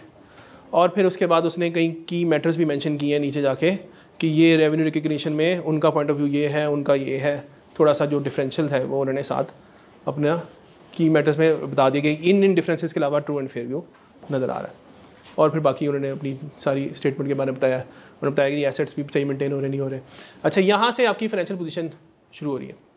फाइनेंशियल पोजीशन में सबसे ऊपर आपके पास आ रही है इक्विटी एंड लाइबिलिटीज़ वो पाँच हेड जो हमने डिस्कस किए थे इक्विटी लाइबिलिटीज़ एसेट्स रेवेन्यू और उसमें सबसे पहला पोर्शन ये इक्विटी का है शेयर कैपिटल एंड रेवेन्यू कि इस कंपनी का शेयर कैपिटल कितना है। इसमें ऑथराइज शेयर्स कितने हैं? इशू शेयर कितने के हुए हुए हैं, उसमें से प्रीमियम कितने का है जनरल रेवेन्यू क्या है, आपकी कोई कैश फ्लो हैजिंग रिज़र्व रखा हुआ है, वो कितना है, और ये आपके प्रॉफिट्स हैं। क्यूमुलेटेड प्रॉफिट भी हो सकते हैं और लॉस भी हो सकते हैं, ये सारा मिला के आपका इक्विटी का पोर्शन बनता है। इसके बाद लाइबिलिटीज़ आ जाती हैं। लाइबिलिटीज़ में पहला पोर्शन होता है नॉन लाइबिलिटीज़ का non current liabilities non current liabilities ये है कि एक साल से ज़्यादा अगर आपकी ड्यू है, जो कि साल के बाद ड्यू होनी है, वो आपके नॉन करंट में आ जाएगी और जो इसी साल में ड्यू होनी है, वो करंट लाइबिलिटीज़ में आ जाएगी। उसमें उन्होंने बताया जी फाइनेंसिस हमने ये लिए हुए हैं लीजेज हमने ये की हुई हैं डेफर टैक्सेशन है, कुछ रिटायरमेंट बेनिफिट्स हैं, ये वो चीज़ें हैं जो कि साल बाद ड्यू हो रही हैं। पिछले साल वो कितनी थी, इस साल वो कितनी है कंपेरेटिव लास्ट ईयर का साथ चल रहा है। फिर करंट लाइबिलिटीज़ आ गई आपकी करंट लाइबिलिटीज़ सारी प्रेजेंट हो रही हैं। फिर आपके पास आ जाते हैं एसेट्स एसेट्स में भी वही दो पोर्शन है जिस तरह लाइबिलिटीज़ में थे non current assets non current assets वो हैं जो कि साल से ज़्यादा आपको सर्व करेंगे। और जो करंट है वो बेसिकली इस साल में जितने चीज़ें सर्व कर रही हैं, वो है। नॉन करंट में आ जाती है प्रॉपर्टी आपकी आ जाती है कैपिटल वर्क इन प्रोग्रेस आ जाता है इंटेंजिबल्स हैं लॉन्ग टर्म लोन्स हैं, वो आपके है नॉन करंट है। करंट में स्टोर्स एंड स्पेयर्स हैं stock in trade trade debtors है। Current portion long term loans है सेल्स टैक्स को रिफंडेबल है एडवांसेस डिपॉजिट्स हैं कैश बैंक है। तो ये आपकी करंट एसेट्स में आ जाता है। फिर आ जाती है statement of profit loss statement of loss में स्टार्ट होता है रेवेन्यू से, कि आपका रेवेन्यू कितना है। फिर आ जाता है आपका कॉस्ट ऑफ़ सेल्स वो कितनी है, वहाँ से बनेगा ग्रॉस प्रॉफिट कि इस वक्त जो आप बेसिकली बिज़नेस एक्टिविटी कर रहे हैं, उसका प्रॉफिट कितना है। फिर उसमें से आप माइनस करेंगे अपने मार्केटिंग एक्सपेंसेस जैसे डिस्ट्रीब्यूशन वो है एडमिनिस्ट्रेटिव है। फिर आप फाइनेंस के अपने खर्चे माइनस करेंगे। कोई अदर इनकम आई है तो वो ऐड करेंगे। और उसके बाद आपके पास आ जाएगा प्रॉफिट बिफोर टैक्सेशन और फिर आप टैक्स माइनस करने के बाद बनाएँगे प्रॉफिट आफ्टर टैक्सेशन और फिर आप अर्निंग शेयर बताएँगे कि जी मेरी पर शेयर कितनी अर्निंग है। ये अर्निंग भी हो सकती है और लॉस भी हो सकता है। ठीक है? फिर आपके पास आ जाती है कंप्रीहेंसिव इनकम उसी प्रॉफिट लॉस से आप निकालते हैं कि जी मेरी टोटल कंप्रीहेंसिव इनकम कितनी है? कि मेरे कोई गेंस कितने हैं लॉसेस कितने हैं, वो करने के बाद मेरी क्या बनती है? और यहाँ से फिर चीज़ जाके वहाँ पे बैलेंस शीट में जो आपका आ रहा था क्यूमुलेटेड प्रॉफिट आ रहा था, वहाँ पे क्लोज आउट हो रही होती है। ये स्टेटमेंट चेंजेस इक्विटी में आके ये सारी चीज़ें क्लोज होंगी और ये आपकी बैलेंस शीट में फिर आपको नज़र आ रही होंगी कि शेयर कैपिटल कितना है प्रीमियम कितना है जनरल रिज़र्व कितना है, वो जो वहाँ पे हेड सारे आ रहे थे, ये उसका ब्रेकअप आ रहा है, पिछले साल का और इस साल का। फिर कैश फ्लो स्टेटमेंट बनती है कि ये जो आपकी सारी मूवमेंट हुई है पिछले साल से इस साल तक, इसके दौरान में कितना कैश आपके ऑपरेशन से आया तीन हेड्स होते हैं इसके। ऑपरेटिंग एक्टिविटी कि ऑपरेटिंग एक्टिविटी से कितना आपने कैश जनरेट किया और कहाँ कहाँ वो यूटिलाइज़ किया। आपने इन्वेस्टिंग एक्टिविटी कि आपने वो कहाँ इन्वेस्ट किया या कोई अपने इन्वेस्टमेंट में से निकाल के आपने पैसे यूज़ किए। और तीसरा तीसरा होता है फाइनेंसिंग एक्टिविटी कि आपने ओनर से या कोई बैंक से या फाइनेंसिंग पॉइंट ऑफ़ व्यू से कितना लिया और कितना दिया। तो ये तीन हेड्स ये सेट ऑफ़ पैटर्न है, एक फ्रेमवर्क है स्टैंडर्ड्स हैं, जिसको फॉलो करके ये सारा बन रहे होते हैं। ये फाइनेंसिंग एक्टिविटी आ गई है। इन्वेस्टिंग फाइनेंसिंग और फिर आगे इनके सारे नोट्स हैं कि किन बेसिस पे बन रहा है शुरू में। बेसिस सारी लिखी हुई हैं। क्या पॉलिसीज़ हैं? जिसकी बेस पे ये सारी कुछ आपने कैलकुलेशंस की हैं। और फिर आगे स्पेसिफिक नोट्स आ जाएँगे कि जो कैलकुलेशन वहाँ पे आ रही थी, वहाँ पे नोट नंबर दिया हुआ था कि उसका आपने ब्रेकअप देखना है। जैसे मैं बैलेंस शीट पे था। ये बैलेंस शीट पे हम देखें, तीन, चार, पाँच, छः, सात, आठ, नौ, पहले जो दो हैं वो पॉलिसीज़ के बेस पे हैं, कि पॉलिसीज़ क्या है? अब अगर आपने इशूड कैपिटल का ब्रेकअप देखना है तो तीन नंबर पे चले जाएँ। आपने अगर शॉर्ट टर्म बॉर्मिंग देखनी है तो दस नंबर नोट पे चले जाएँ। तो आपके सारे नोट्स भी उसका पार्ट है। ये एक लंबा प्रोसेस होता है अकाउंट्स बनाना, उसको प्रेजेंट करना। ठीक है? तो ये बेसिकली आपकी फाइनेंशियल स्टेटमेंट्स होती है।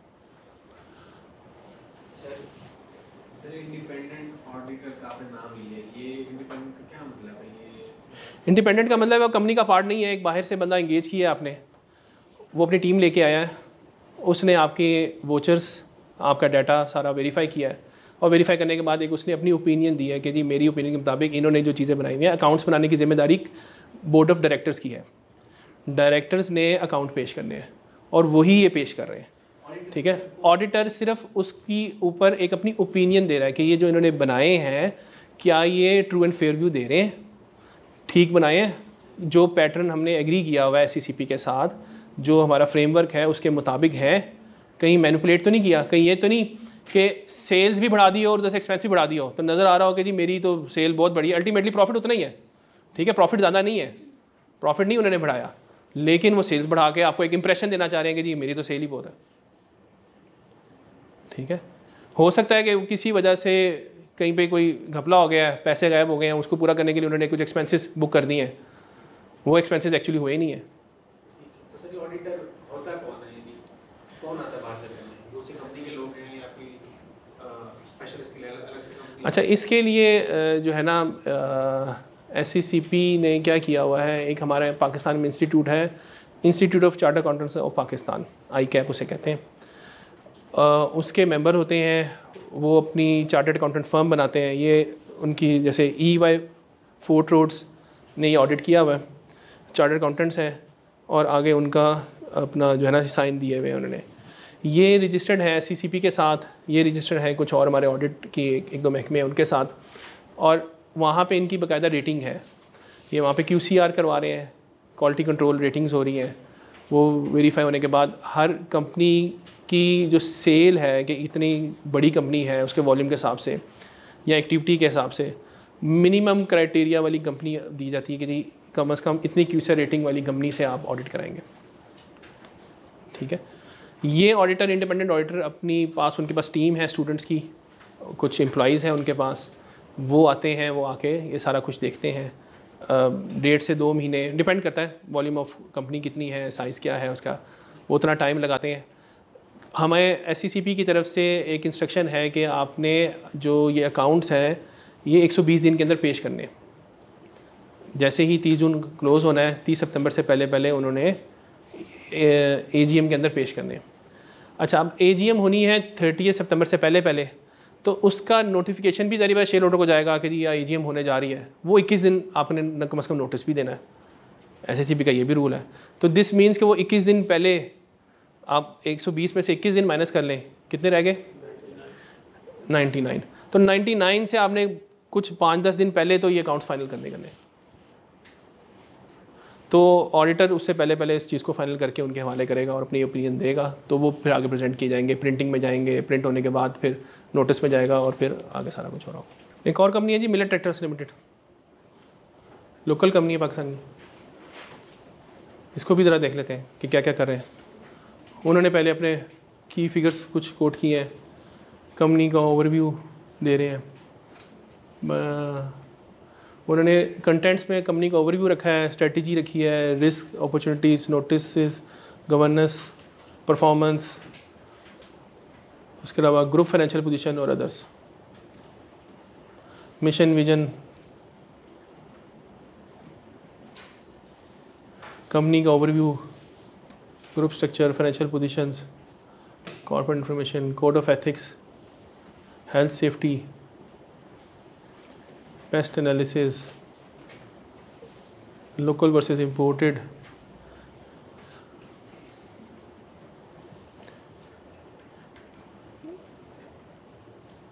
Risk and opportunities उन्होंने बताई हैं अपनी।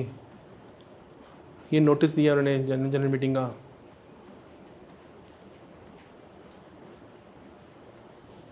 ये उर्दू में दिया हुआ है। ये लोग बोर्ड ऑफ़ डायरेक्टर्स का पार्ट है। ये डिफरेंट कमेटीज़ जो है उनकी। अच्छा बोर्ड ऑफ़ डायरेक्टर्स भी जो होते हैं ना, वो लिमिटेड होते हैं। ऐसा नहीं होता कि जितने मर्ज़ी बंदे बना लें। ये अगर आप जब लॉ में पढ़ेंगे अगर तो कंपनी टू कंपनी वेरी करता है। टाइप ऑफ़ लिस्टेड कंपनी में यूली सात डायरेक्टर्स मिनिमम होते हैं।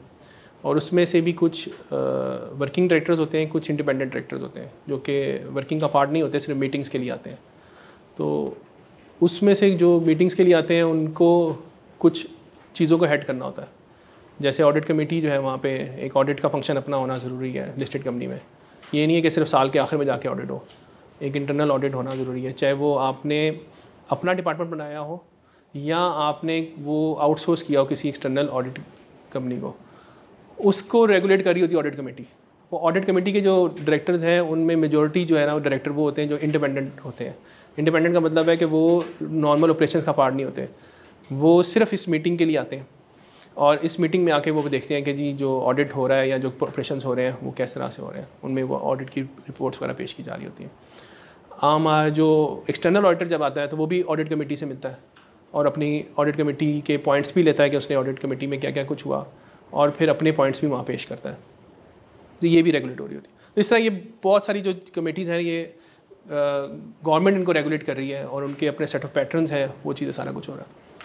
सर ये काइंडली ये जो मार्केटिंग कमेटी इसका जरा ये मार्केटिंग कमेटी मार्केटिंग कमेटी भी इसी तरह ही है कि बेसिकली वो मार्केट किस तरह से करें इसमें जो है ना मार्केटिंग कमेटी एस भी रेगुलेट नहीं कर रही। ठीक है? उसने यानी कि मैंडेटरी नहीं बनाया हुआ कि आपकी ये कमेटी बनाना ज़रूरी है। जितनी आपकी अच्छी कंपनीज़ हैं, लेकिन वो उसकी कमेटी बनाती हैं। इसमें भी इसी तरह इंडिपेंडेंट उसको रखा जाता है। और उसकी कमेटी का पर्पज़ ये होता है कि आप जो ये कमेटीज़ है ना, इस तरह की, ये यूजली क्वार्टर में एक दफ़ा मिल रही होती हैं। और फिर एनालिसिस कर रही होती हैं इनके पास पूरी डिटेल एनालिसिस आता है कि इस क्वार्टर की क्या पोजीशन रही है पीछे पोजीशन क्या रही है लास्ट ईयर इसकी क्या पोजीशन थी। और ये इंडिपेंडेंटली उसको ओवरसी करने के बाद अपनी ओपिनियन देती हैं कि क्या हम ठीक डायरेक्शन में जा रहे हैं या नहीं जा रहे। तो वो ऑपरेशन वाले तो डे डेली बेस पे कर कर रहे होते हैं उनकी डायरेक्शन और होती है। ये फिर कई दफ़ा उनकी डायरेक्शन रीसेट करवाते हैं।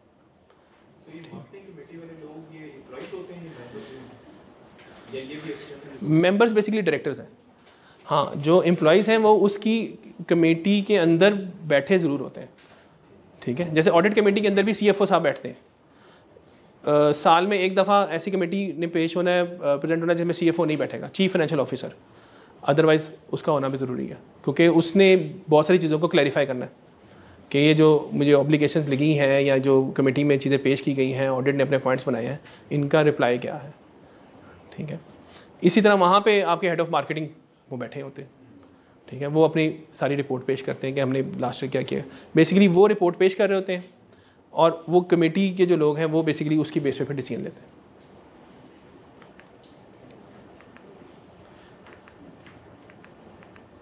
ये चेयरमैन की रिमार्क्स हैं, ये डायरेक्टर्स रिपोर्ट आ गई।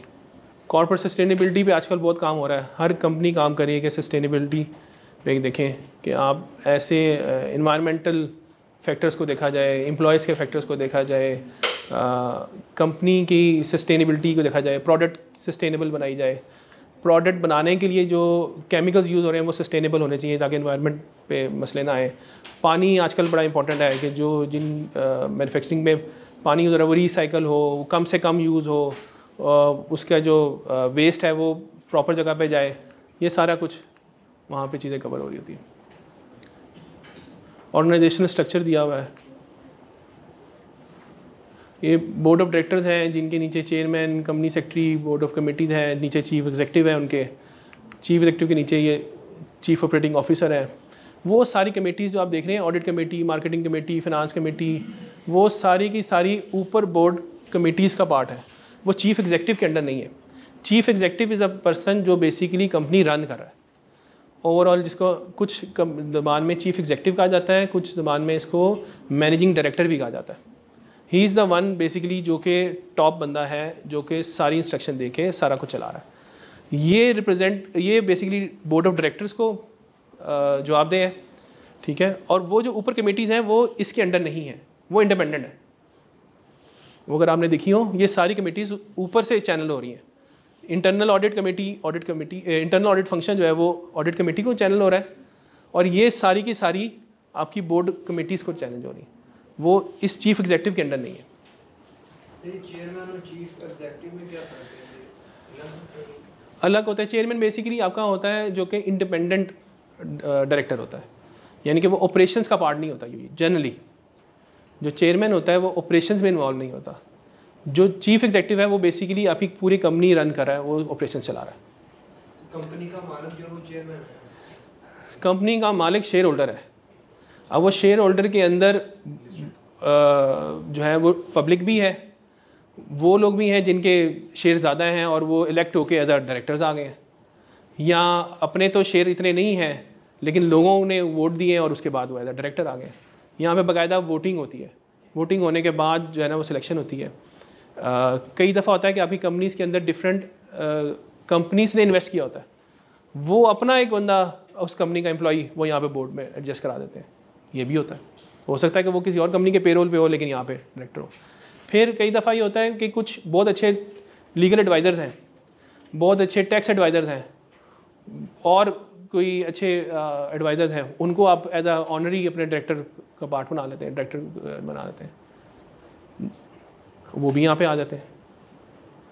ये डायरेक्टर्स में देखें शायद कोई मैं अगर तस्वीर देख के बता सकूँ। नहीं इनमें नहीं है। ये देखें इंडिपेंडेंट डायरेक्टर लिखा है इंडिपेंडेंट डायरेक्टर लिखा है इंडिपेंडेंट डायरेक्टर है ये वो है जो इंडिपेंडेंट डायरेक्टर है नॉन एग्जीक्यूटिव डायरेक्टर्स है और वो एग्जीक्यूटिव डायरेक्टर है चेयरमैन है। तो वो डिफरेंट चीज़ें डिफरेंट होती हैं ठीक है? और इनके नीचे फिर सारे ये ऑपरेशंस के लोग हैं चीफ एग्जीक्यूटिव के नीचे सारे फाइनेंस फ़ंक्शन है प्रोडक्शन फ़ंक्शन है मार्केटिंग फ़ंक्शन है इन्फॉर्मेशन टेक्नोलॉजी फ़ंक्शन है। ये जितने फ़ंक्शन हैं कंपनी के, वो सारे चीफ एग्जीक्यूटिव के अंडर हैं।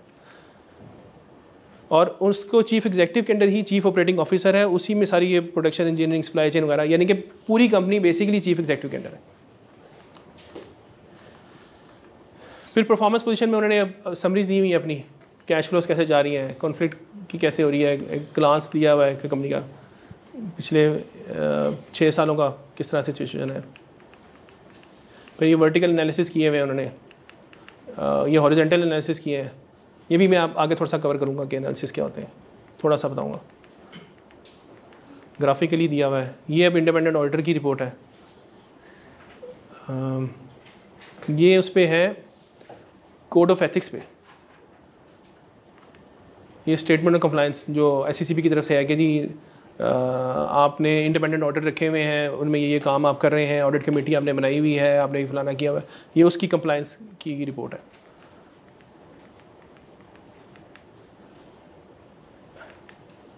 और ये आपकी मेन जो अकाउंट शुरू हो रहे हैं, उससे पहले इंडिपेंडेंट ऑडिटर की रिपोर्ट है। ठीक है जी।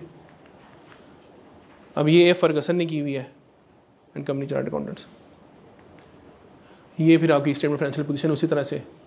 ये वही पैटर्न है जो भी हमने नेस्ले का देखा आपने। ये एसेट्स का आ गया पोर्शन पेज आ गया।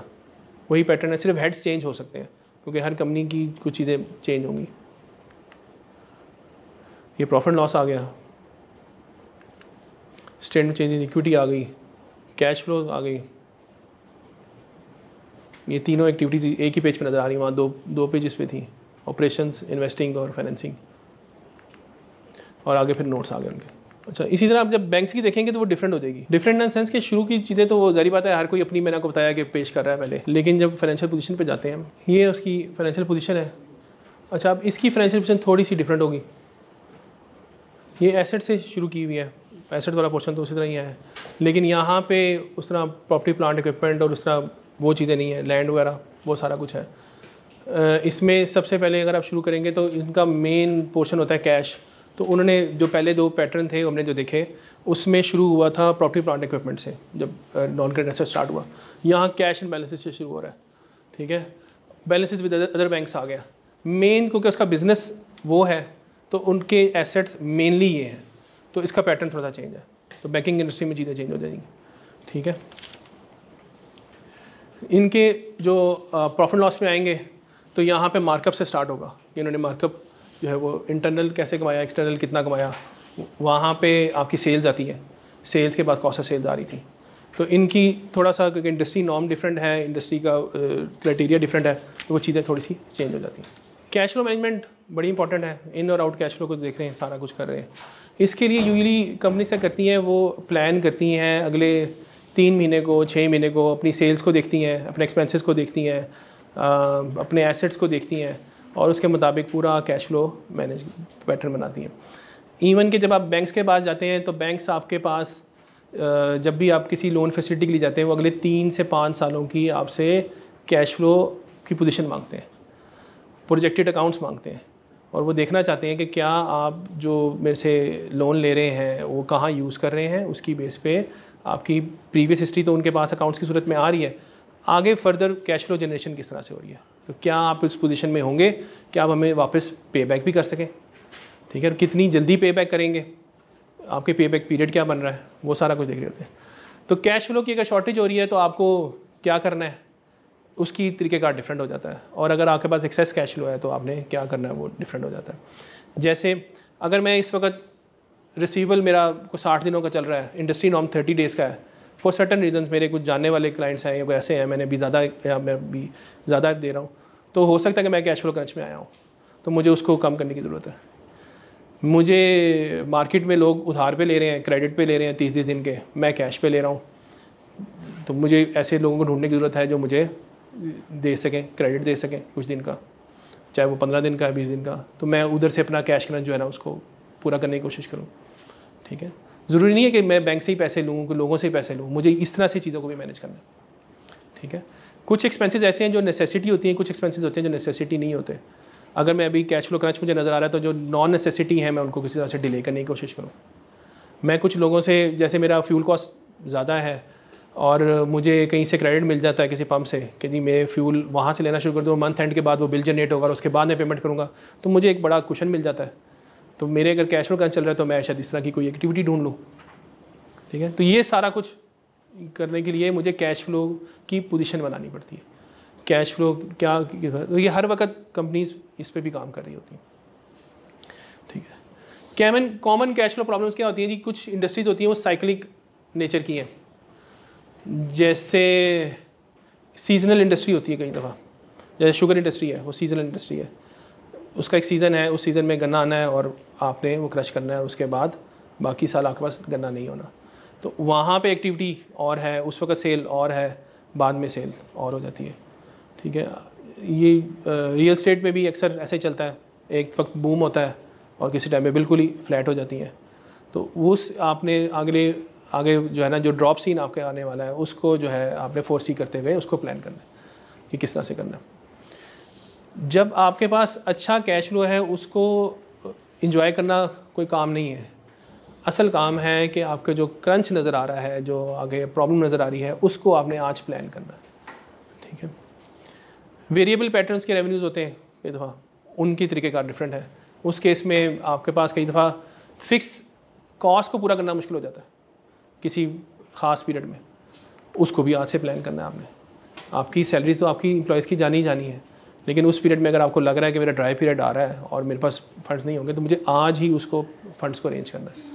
या ऐसी जगह पे कहीं इन्वेस्ट करना है कि वो फंड्स मेरे पास उस टाइम पे अवेलेबल हो जाए। ठीक है?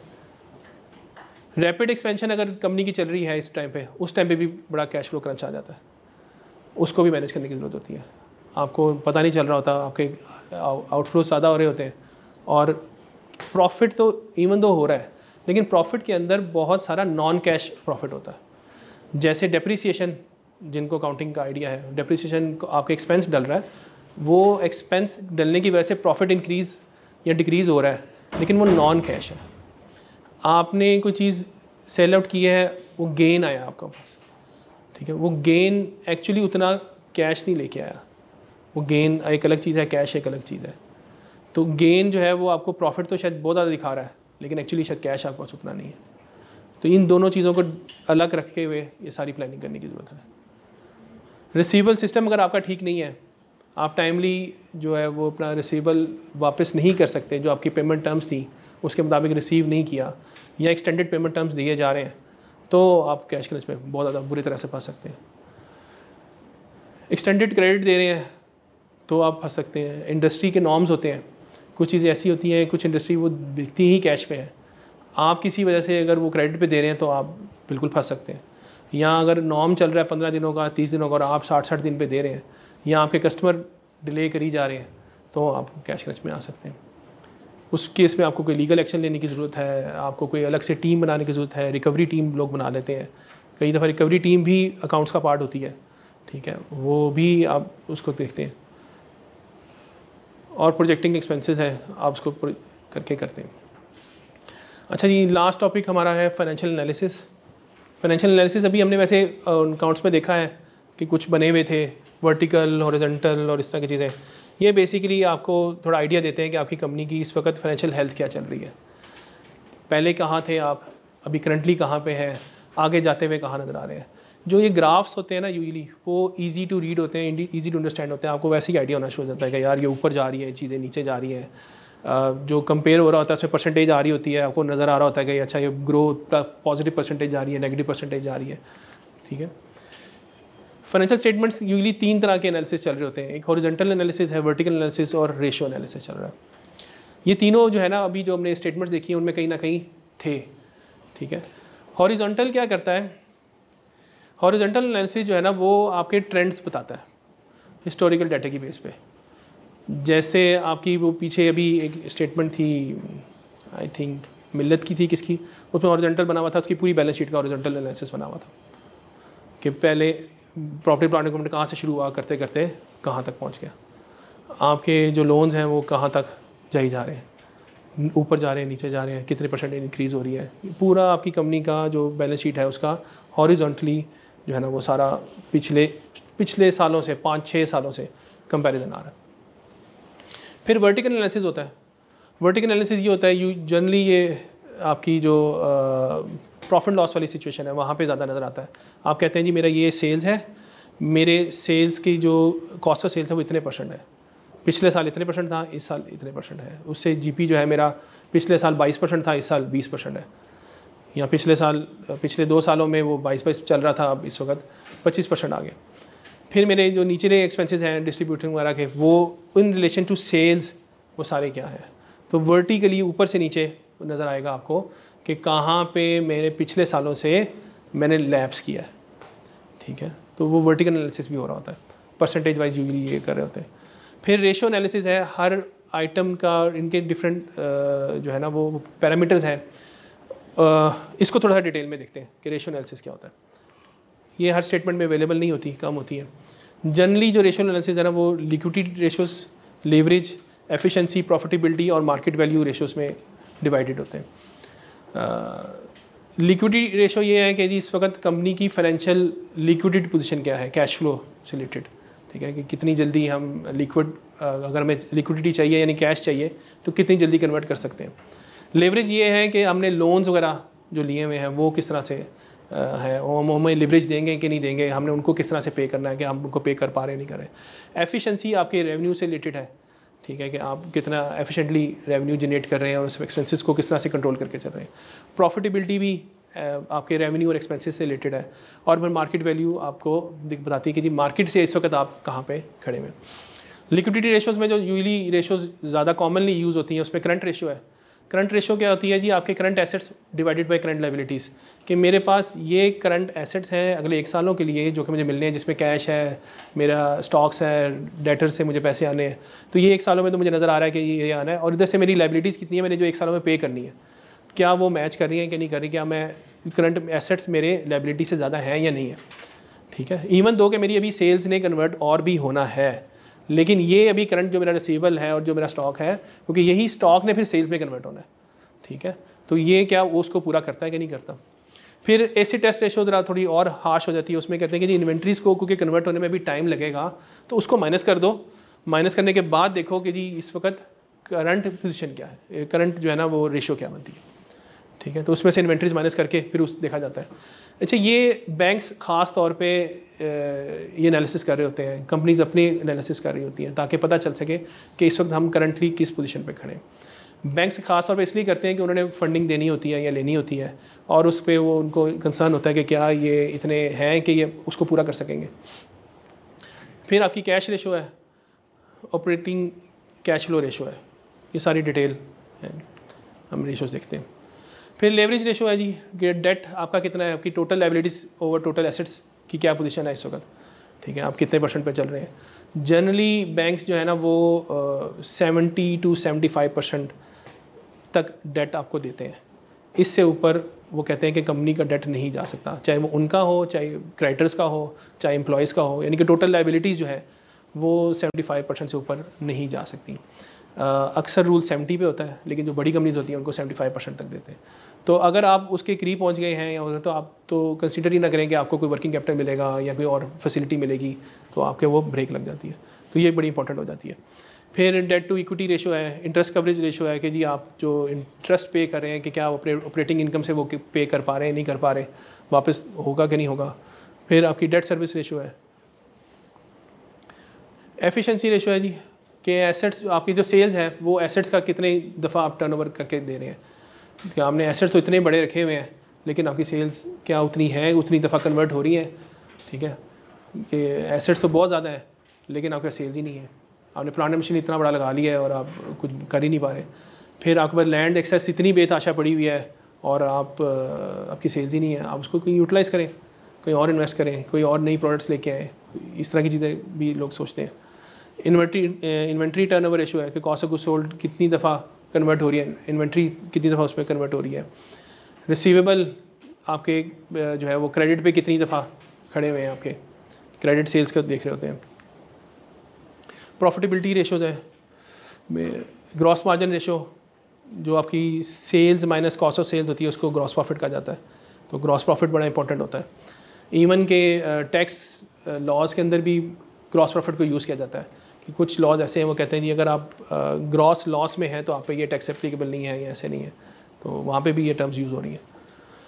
ऑपरेटिंग मार्जिन रेशो है रिटर्न ऑन एसेट रेशो है रिटर्न ऑन इक्विटी रेशो है। फिर मार्केट वैल्यू रेशो है, ये लिस्टेड कंपनीज़ में यूजली होती है, क्योंकि मार्केट वैल्यू उसी की अवेलेबल होती है। जो नॉन लिस्टेड कंपनीज़ हैं, उनके पास मार्केट वैल्यू नहीं होती। तो ये डिविडेंड जो दे रहे हैं, वो पर शेयर कितना है नेट अर्निंग्स पर शेयर क्या है शेयर प्राइस इस वक्त अर्निंग पर शेयर के हिसाब से किस तरह से चल रही है। फ्री कैश फ्लो आप कैलकुलेट करते हैं कि आपकी net income plus depreciation minus working capital changes minus capital expenditure ये आपको बताता है कि जी आपके पास फ्री कैश फ्लो कितना है आगे। और इसको फिर आप रोटेट करके आप उसको यूज़ करते हैं। कोई क्वेश्चन आंसर इससे related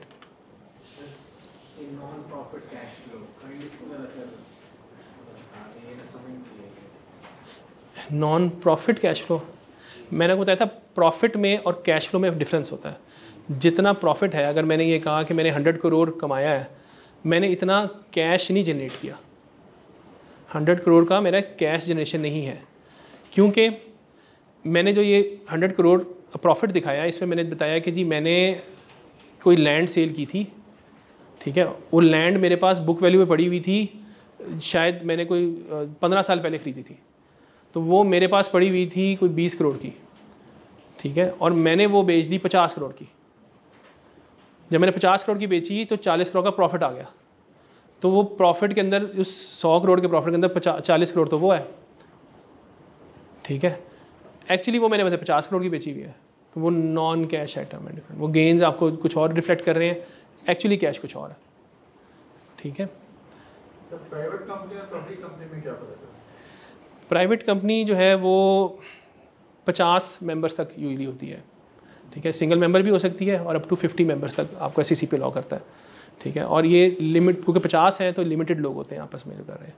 पब्लिक कंपनी वो है जो कि मिनिमम सात लोगों से शुरू होती है और अनलिमिटेड नंबर ऑफ़ मेंबर्स तक जा सकती है। ठीक है? तो पब्लिक कंपनी बनाना पहले ज़रूरी है। पब्लिक कंपनी होगी तो आप लिस्टिंग की तरफ़ जा सकते हैं। फिर ही आप पब्लिक कंपनी यानी कि नॉन लिस्टेड भी हो सकती है। मैंने पब्लिक कंपनी बनाई है। लेकिन मैंने अभी लिस्ट नहीं की करवाई एस में। सॉरी स्टॉक एक्सचेंज में। लोगों का पैसा नहीं है। हो सकता है मेरे को दस लोग ही हैं जो हम चला रहे हैं। ठीक है? तो है वो पब्लिक कंपनी और उसके बाद अगर मैं किसी उनके क्राइटेरिया पूरे करता हूँ, मैं सारी चीज़ें ऐसी सी उसकी स्टॉक से मीट करता हूँ, मैं उसको लिस्टिंग की तरफ़ ले जाता हूँ तो वो लिस्टेड कंपनी भी बन सकती है। जी सिंगल मेंबर भी होती है। सिंगल मेंबर कंपनी भी होती है। होती है वो प्राइवेट कंपनी है सिंगल मेंबर जो कंपनी होती है, वो ये बाद में प्राइवेट करना प्राइवेट कंपनी ही कहलाती है वो। अगर उसमें एक मेंबर है। जनरली प्राइवेट कंपनी में मिनिमम दो मेंबर होते हैं। एक स्पेशल बाद में रेगुलेशन आई और उसमें उन्होंने सिंगल मेंबर कंपनी को भी प्राइवेट का अलाउ किया लेकिन वो स्पेशल आपको परमिशन लेनी पड़ती। देखें एक है सोल प्रोप्राइटरशिप मैं खुद ही उठता हूँ मैं उमर एंड कंपनी उमर के नाम से एक बिज़नेस शुरू कर देता हूँ। ठीक है उमर करियाना स्टोर ये एक सोल प्रोप्राइटरशिप है काम, ठीक है? एक है कि मैं जाके दो लोग हैं यहाँ पर मैं, हम आपस में एग्रीमेंट करते हैं और हम वो एग्रीमेंट रजिस्ट्रार के पास रजिस्टर कराते हैं। वो एस में भी जाके क्लेम होता है और हम कहते हैं कि हम आपस में पार्टनर हैं और हम जो भी करेंगे वो इस क्राइटेरिया के मुताबिक करने के बाद आपस में डिवाइड करेंगे।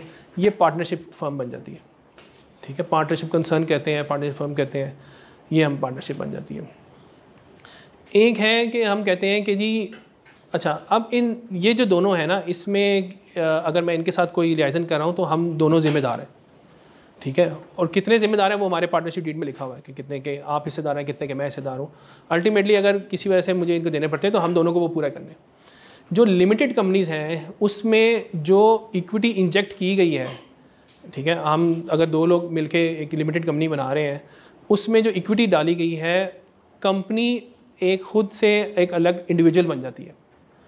वो जिम्मेदार है उसको पूरा करने की। अब वो जो जिम्मेदार है उसके लिए वो तो उतना ही पूरा कर सकती है ना जितने उसके पास इक्विटी है। जितनी उसके पास इक्विटी है तो वो लिमिटेड कंपनी बन जाती है। अब वो लिमिटेड कंपनी जो है वो दो दो तरह की है, एक प्राइवेट लिमिटेड और एक पब्लिक लिमिटेड ठीक है? दोनों लिमिटेड कंपनी है। वो लिमिटेड का मतलब ये है कि उसकी जो देने की इंडिविजुअल हैसियत है वो लिमिटेड है। आपकी और मेरी अनलिमिटेड है। आपको मेरे लिए हो सकता है कि मेरे रिश्तेदारों से भी पैसे निकलवाने पड़ जाए। ठीक है? कंपनी के केस में नहीं है।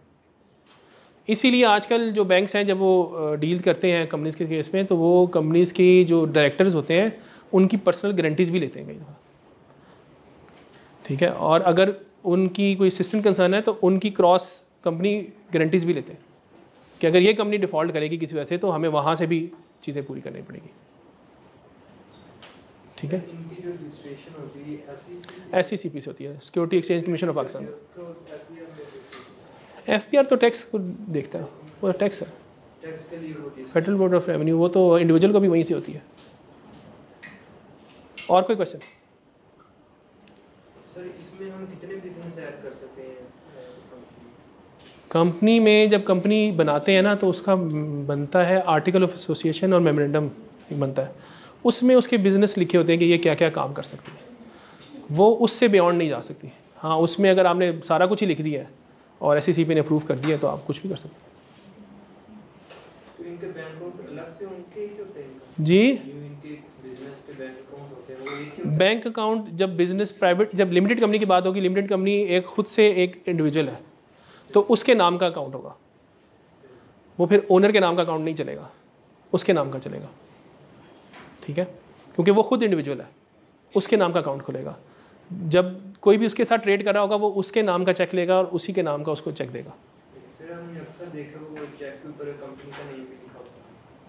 जी। वो वो बेसिकली वो उस कंपनी का चेक है ना। वो खुद से मिजाज है चेक देने की।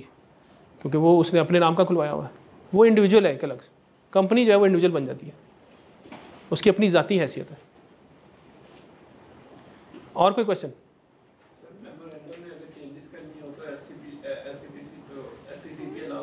बिल्कुल करता है। उसके लिए आपके पास स्पेशल रेजोल्यूशन पे पहले जाना पड़ता है। आपको बोर्ड से पहले अप्रूव एजीएम में आपकी अप्रूवल होती है पहले रिकमेंडेशन जाएगी। वो फिर और कुछ डॉक्यूमेंट्स होते हैं इकट्ठे होने के बाद सी में जाएँगे उसके बाद। पूरा एक प्रोसीजर है उसका। आप अपनी मर्ज़ी से नहीं चेंज कर सकते, पूरा एक प्रोसेस है। और शेयर होल्डर्स की मर्ज़ी के बगैर बिल्कुल भी नहीं कर सकते। क्योंकि असल जो बिज़नेस है, उनका है शेयर होल्डर्स का। उसमें से सिर्फ़ सिर्फ़ पाँच छः लोग सामने बैठे हुए हैं। बाकी तो पब्लिक का पैसा है। प्राइवेट के केस में वो खुद बैठे हुए हैं। तो वो खुद ही मीटिंग करते हैं चीज़ें पूरी करते हैं, उसके बाद जमा करा के कर लेते हैं।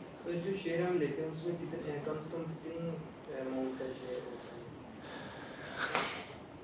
बेसिकली बल्क शेयर होते हैं एक शेयर यूजली नहीं मिलता ठीक है? और, उसकी डिपेंड कर रहा है इस वक्त मार्केट वैल्यू क्या चल रही है ठीक है? वो हर शेयर की अपनी मार्केट वैल्यू अपनी वर्थ है उसके हिसाब से। आजकल तो वो सॉफ्टवेयर पे सारा कुछ होता है अब तो वो हार्ड कॉपी वाला कॉन्सेप्ट ही ख़त्म हो गया। थैंक यू जी थैंक यू वेरी मच बहुत शुक्रिया।